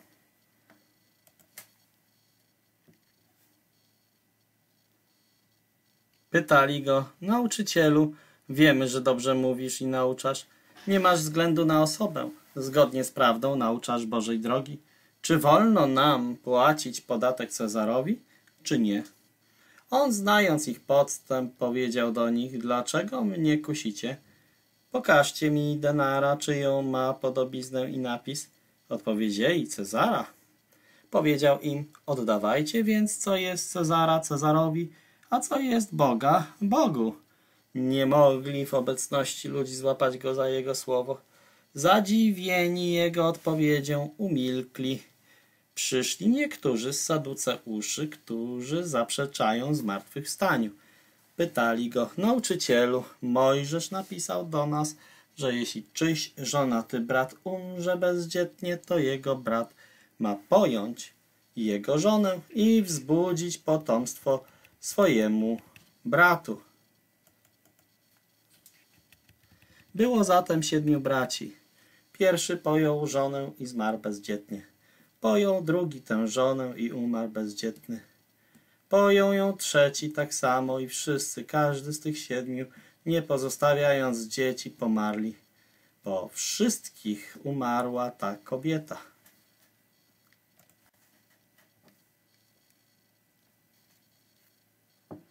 Przy zmartwychwstaniu, którego z nich będzie żoną, skoro siedmiu miało ją za żonę? Jezus odpowiedział im, synowie tego wieku zawierają małżeństwa i są poślubiani. Osoby natomiast godne dostąpienia tego wieku i powstania spośród umarłych nie będą poślubiani ani nie będą zawierać małżeństw, bo też umrzeć już nie mogą, gdyż równi są aniołom, a są synami bożymi, będąc synami zmartwychwstania. A że umarli powstaną, to także Mojżesz pokazał przy krzaku, gdy nazywa Pana Bogiem Abrahama i Bogiem Izaaka i Bogiem Jakuba. Bóg więc nie jest Bogiem umarłych, ale żywych, bo dla Niego wszyscy żyją. Niektórzy ze skrybów odpowiedzieli, nauczycielu, dobrze odpowiedziałeś i nie śmieli go więcej o nic pytać. Powiedział do nich, jak to jest, że mówią, że Chrystus jest synem Dawida. Sam Dawid mówi w księdze psalmów, powiedział Pan mojemu Panu, siądź po mojej prawicy, aż położę nieprzyjaciół Twoich jako podnóżek Twoich nóg. Dawid nazywa go Panem, więc w jaki sposób jest jego synem? Gdy słuchał go cały lud, powiedział swoim uczniom, strzeżcie się skrybów, którzy lubią chodzić w długich szatach, oczekują pozdrowień na rynkach, pierwszych miejsc w synagogach i na ucztach, pożerają domy wdów i znani są z długich modlitw. Ci poniosą cięższy wyrok. Ewangelia według Łukasza, rozdział 21. Patrząc, ujrzał bogatych, wrzucających dary do skarbca. Ujrzał też jedną ubogą wdowę, wrzucającą tam dwa drobne pieniążki. Powiedział prawdziwie, powiadam wam, że ta uboga wdowa więcej wrzuciła niż ci wszyscy. Oni wszyscy z tego, co im zbywało, dołożyli do darów bożych, ale ona z potrzeby swojej wrzuciła wszystko, co miała. Gdy niektórzy mówili o świątyni, że jest ozdobiona pięknymi kamieniami i darami, powiedział: Przyjdą dni, które z tego, co widzicie, nie zostanie kamień na kamieniu, który nie zostałby rozwalony. Pytali go, nauczycielu, kiedy to będzie, jaki jest znak, kiedy ma się to stać. On powiedział, baczcie, abyście nie byli zwiedzeni, gdyż wielu przyjdzie w moim imieniu, mówiąc, ja jestem oraz czas się przybliżył. Nie udawajcie się za nimi. Gdy usłyszycie o wojnach i przewrotach, nie lękajcie się, to musi się stać najpierw, ale nie natychmiast nastąpi koniec. Wtedy mówił im, powstanie naród przeciwko narodowi i królestwo przeciwko królestwu. Będą miejscami wielkie trzęsienia ziemi, głód, zaraza, zjawiska budzące strach i znaki wielkie z nieba. Przed tym wszystkim złapią was i będą prześladować. Wydadzą was do synagog i do więzienia. Poprowadzą przed królów i przed namiestników ze względu na moje imię.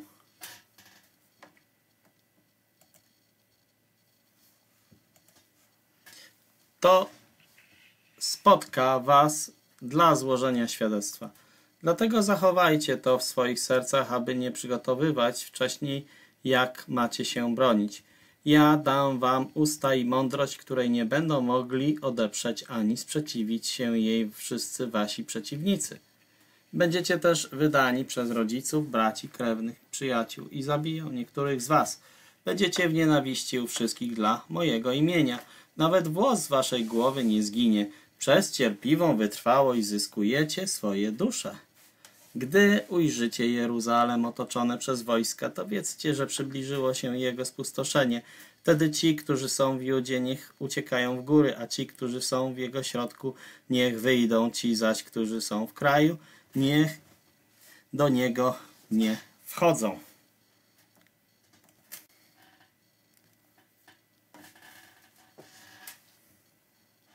Bo to są dni pomsty, aby się wypełniło wszystko, co napisano biada ciężarnym i karmiącym w tamte dni.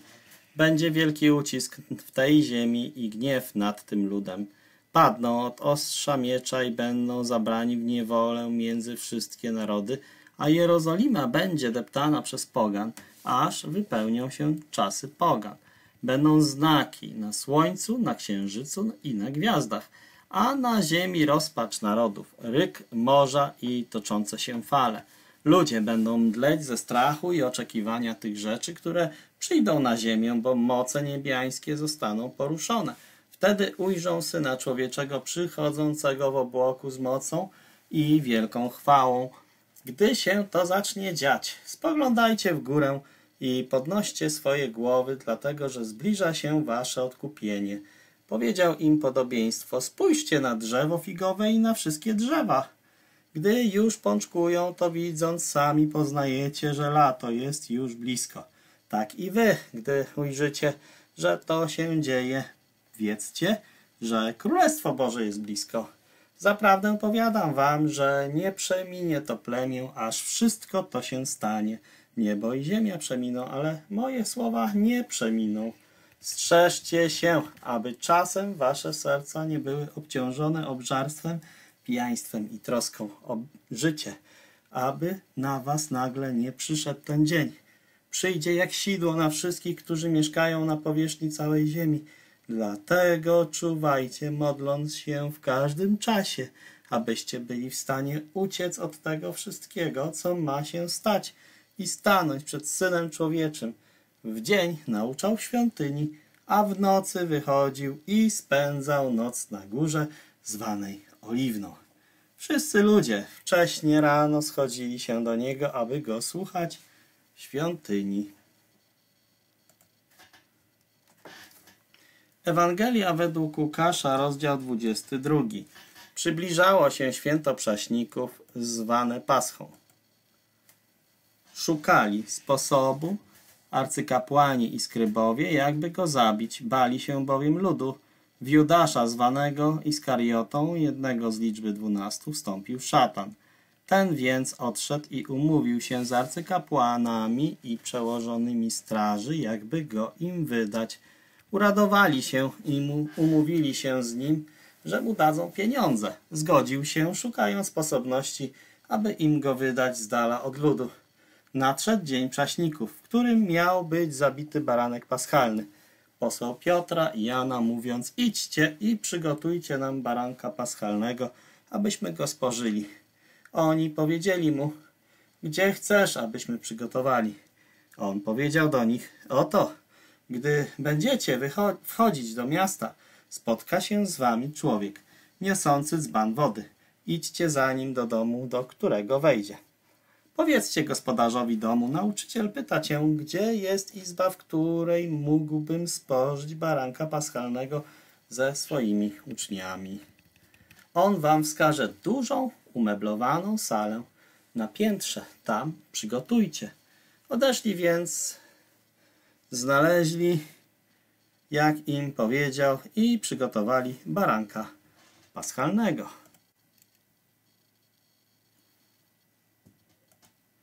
Gdy przyszła godzina, zajął miejsce u stołu, a z nim dwunastu apostołów. Powiedział do nich, gorąco pragnąłem spożyć z wami tę paschę przed moją męką, bo mówię wam, że go więcej nie będę jeść, aż wypełni się w Królestwie Bożym.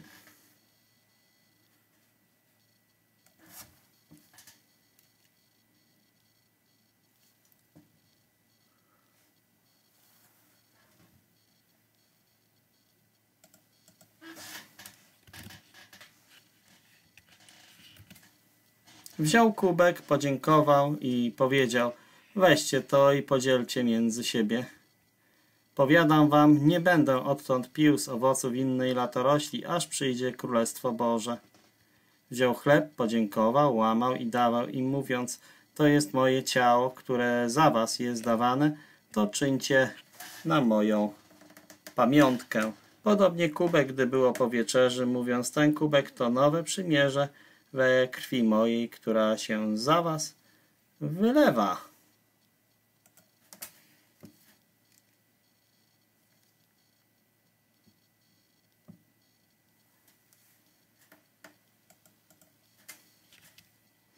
Oto ręka tego, który mnie wydaje, ze mną jest u stołu.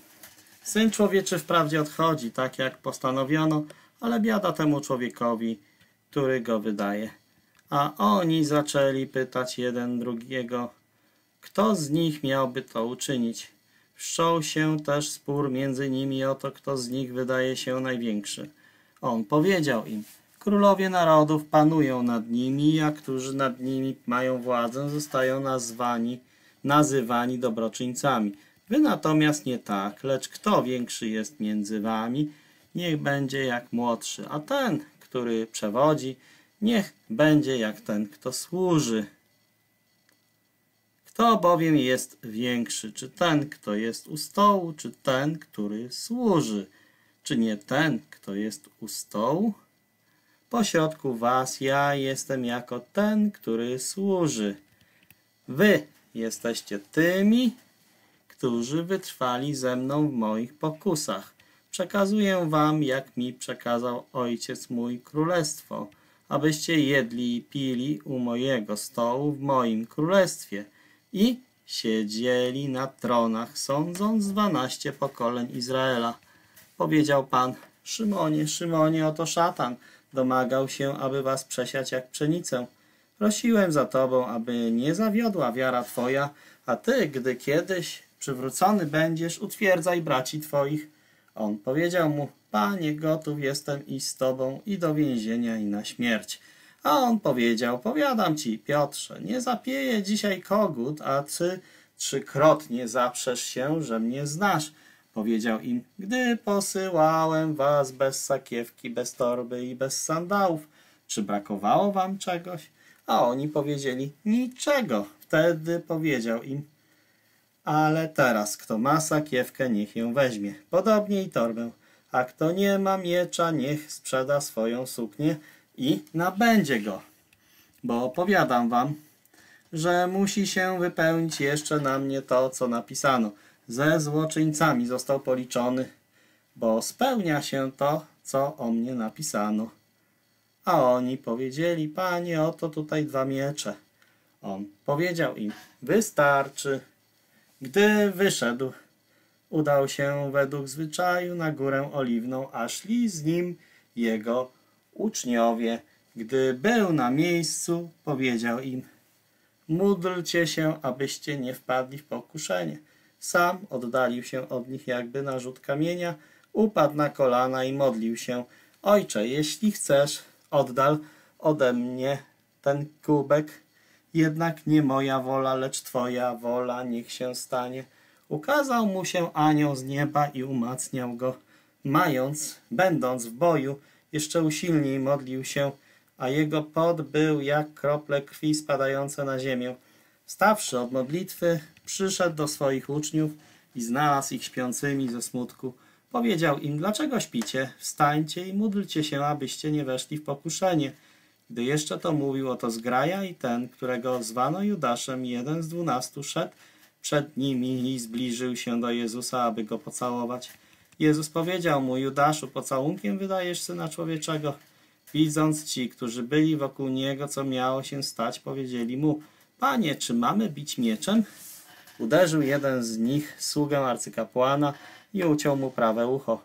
Jezus odpowiedział, dosyć tego, dotknął się jego ucha i go uzdrowił. Jezus powiedział do arcykapłanów i do przełożonych straży świątyni i do starszych, którzy przybyli do niego, jak po przestępcę wyszliście z mieczami i z kijami. Gdy codziennie byłem z wami w świątyni, nie wyciągnęliście na mnie rąk, ale to jest wasza godzina i moc ciemności. Gdy go pojmali, poprowadzili i wprowadzili do domu arcykapłana, a Piotr z daleka szedł za nim. Gdy na środku dziedzińca rozniecili ognisko, usiedli razem i Piotr usiadł między nimi. Ujrzała go jedna służąca siedzącego przy ognisku i pilnie przypatrzyła się jemu i powiedziała i ten był z nim. On zaparł się go, mówiąc, kobieto, nie znam go. Po chwili ujrzał go drugi i powiedział, ty też jesteś z nich. Ale Piotr powiedział, człowieku, nie jestem. Gdy upłynęło około godziny, ktoś inny twierdził, prawdziwie i ten był z nim, bo także jest Galilejczykiem. Piotr powiedział, człowieku, nie wiem co mówisz i zaraz, gdy on jeszcze mówił, zapiał kogut. Pan obrócił się i utkwił swój wzrok w Piotrze. Przypomniał sobie Piotr słowo Pana, jak mu powiedział, zanim kogut dzisiaj zapieje, zaprzesz się mnie trzy razy. Wyszedł Piotr na zewnątrz i gorzko płakał. Mężczyźni, którzy trzymali Jezusa, naśmiewali się z niego i bili go, zasłonili mu oczy i bijąc go w twarz, pytali się, prorokuj, kto ciebie uderzył? Wiele innych bluźnierstw mówili przeciwko niemu. Gdy nastał dzień, zeszli się starsi ludu, arcykapłani i skrybowie i przyprowadzili go przed trybunał, mówiąc, czy ty jesteś Chrystusem? Powiedz nam. Powiedział im, jeśli wam powiem, nie uwierzycie.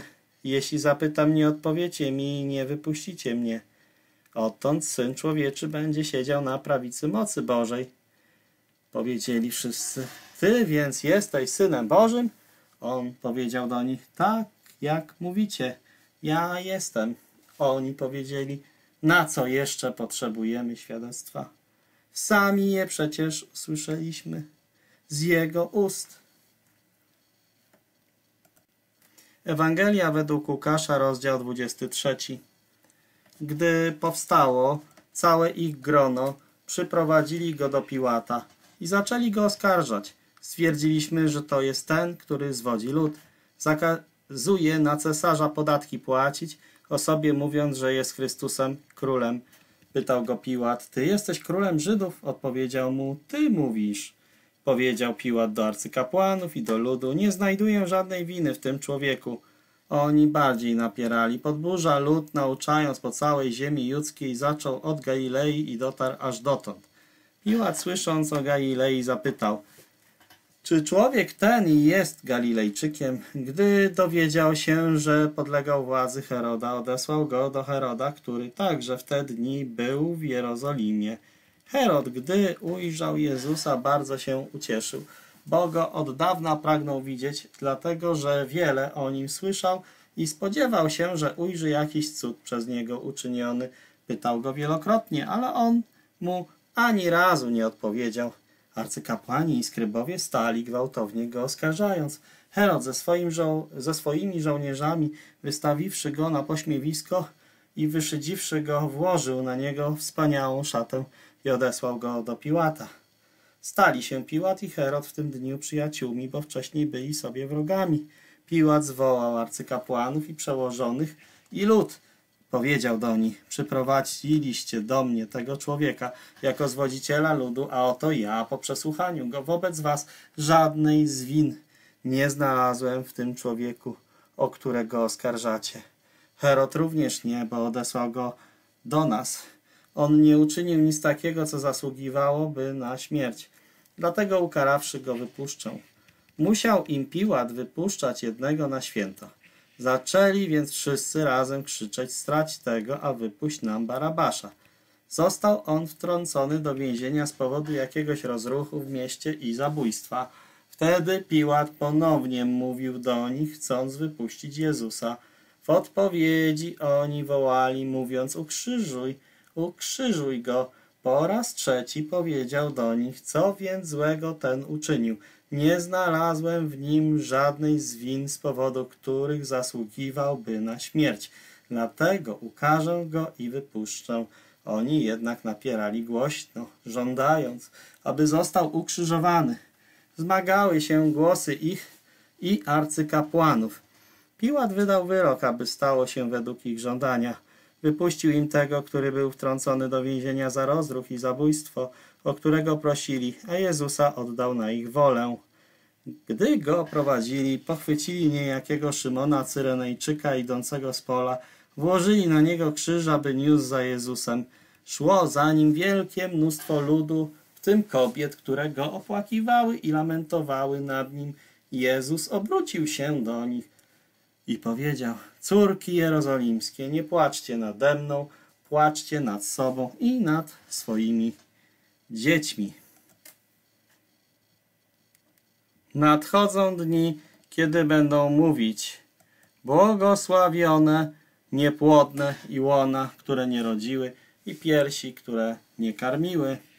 Wtedy zaczną mówić górom: Spadnijcie na nas, a pagórkom: Skryjcie nas. I jeśli dzieje się to na zielonym drzewie, to co stanie się na suchym? Prowadzono też innych dwóch przestępców, aby razem z nim zostali straceni. Gdy przyszli na miejsce zwane miejscem czaszek, tam go ukrzyżowali i przestępców, jednego po prawej, a drugiego po lewej. Jezus powiedział, Ojcze, odpuść im, bo nie wiedzą, co czynią. Gdy rozdarli jego szaty, rzucali o nie losy. Lud stał, przypatrując się. Przywódcy naśmiewali się z niego, innych ratował. Niech ratuje samego siebie. Jeśli on jest Chrystusem wybranym Boga, naśmiewali się też z niego żołnierze, podchodząc i podając mu ocet. Mówili, jeśli ty jesteś królem Żydów, ratuj samego siebie. Był też napis nad nim z liter greckich, łacińskich i hebrajskich. Ten jest królem Żydów. Jeden z powieszonych przestępców ubliżał mu, jeśli ty jesteś Chrystusem, ratuj samego siebie i nas.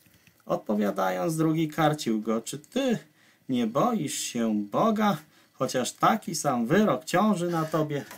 Na nas sprawiedliwie, bo godną zapłatę za swoje czyny odbieramy, ale ten nie uczynił nic złego.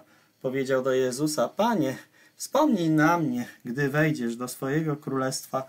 Jezus mu powiedział, zaprawdę ci mówię, będziesz ze mną dzisiaj w raju. Było około szóstej godziny, a stała się ciemność na całej ziemi aż do godziny dziewiątej. Zaćmiło się słońce, a zasłona świątyni rozerwała się przez środek. Jezus, zawoławszy bardzo głośno, powiedział, Ojcze, w Twoje ręce składam mojego ducha. Gdy to powiedział, oddał ducha. Widząc setnik, co się stało, oddał chwałę Bogu. Zaprawdę, człowiek ten był sprawiedliwy. Cały lud, który zszedł się na to widowisko, widząc co się stało, wracał bijąc się w piersi. Stali z daleka wszyscy jego znajomi i kobiety, które za nim przyszły z Galilei, przypatrując się temu. Mąż o imieniu Józef, który był członkiem rady, człowiek dobry i sprawiedliwy z Arymatei, miasta Judei, który też sam oczekiwał Królestwa Bożego, który nie głosował za postanowieniem rady i ich czynem, ten przyszedł do Piłata i prosił o ciało Jezusa. Zdjął je, obwinął w prześcieradło i złożył je w grobowcu wykutym w skale, którym jeszcze nikt nigdy nie był położony. Był to dzień przygotowania i nastawał dzień odpoczynku. Poszły za nim też kobiety, które razem z nim przyszły z Galilei, oglądając grobowiec i jak było położone jego ciało.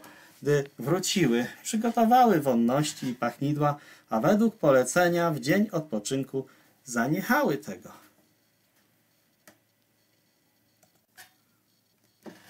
Ewangelia według Łukasza, rozdział 24. Pierwszego dnia po dniu odpoczynku, bardzo rano, przyszły do grobowca, niosąc wonności, które przygotowały, a były też i inne z nimi. Znalazły kamień odtoczony od grobowca. Gdy weszły, nie znalazły ciała Pana Jezusa. Gdy były tym zaniepokojone, dwaj mężowie stanęli obok nich w lśniących szatach. One natomiast bały się i schyliły twarz ku ziemi, a wtedy oni powiedzieli do nich, dlaczego szukacie żyjącego między umarłymi? Nie ma go tu, został wzbudzony. Przypomnijcie sobie, jak wam powiedział, gdy jeszcze był w Galilei, mówiąc, że Syn Człowieczy musi być wydany w ręce grzesznych ludzi i być ukrzyżowany, a trzeciego dnia zmartwychwstać. I przypomniały sobie jego słowa. Gdy wróciły od grobowca, opowiedziały to wszystko jedenastu i wszystkim pozostałym. Była Maria Magdalena, Joanna, Maria, matka Jakuba i inne z nimi, które opowiedziały to apostołom. Słowa ich wydawały się im niedorzeczne i nie wierzyli im. Piotr wstał i pobiegł do grobowca, a gdy się nachylił, zobaczył jedynie same leżące prześcieradła, wrócił dziwiąc się temu, co się stało. Tego dnia dwoje z nich szło do miasteczka, które było oddalone o sześćdziesiąt stadiów od Jeruzalem, które zwano Emaus. Ci rozmawiali ze sobą o tym wszystkim, co zaszło. Gdy oni rozmawiali i nawzajem się pytali, sam Jezus zbliżył się i szedł z nimi. Jednak oczy ich były zasłonięte i go nie poznali. Powiedział do nich, o czym przygnębiającym idąc rozmawiacie. Jeden z nich o imieniu Kleofas powiedział mu, czy ty jesteś jedynym przychodniem w Jeruzalem, który nie wie o tym, co się w nim stało w tych dniach?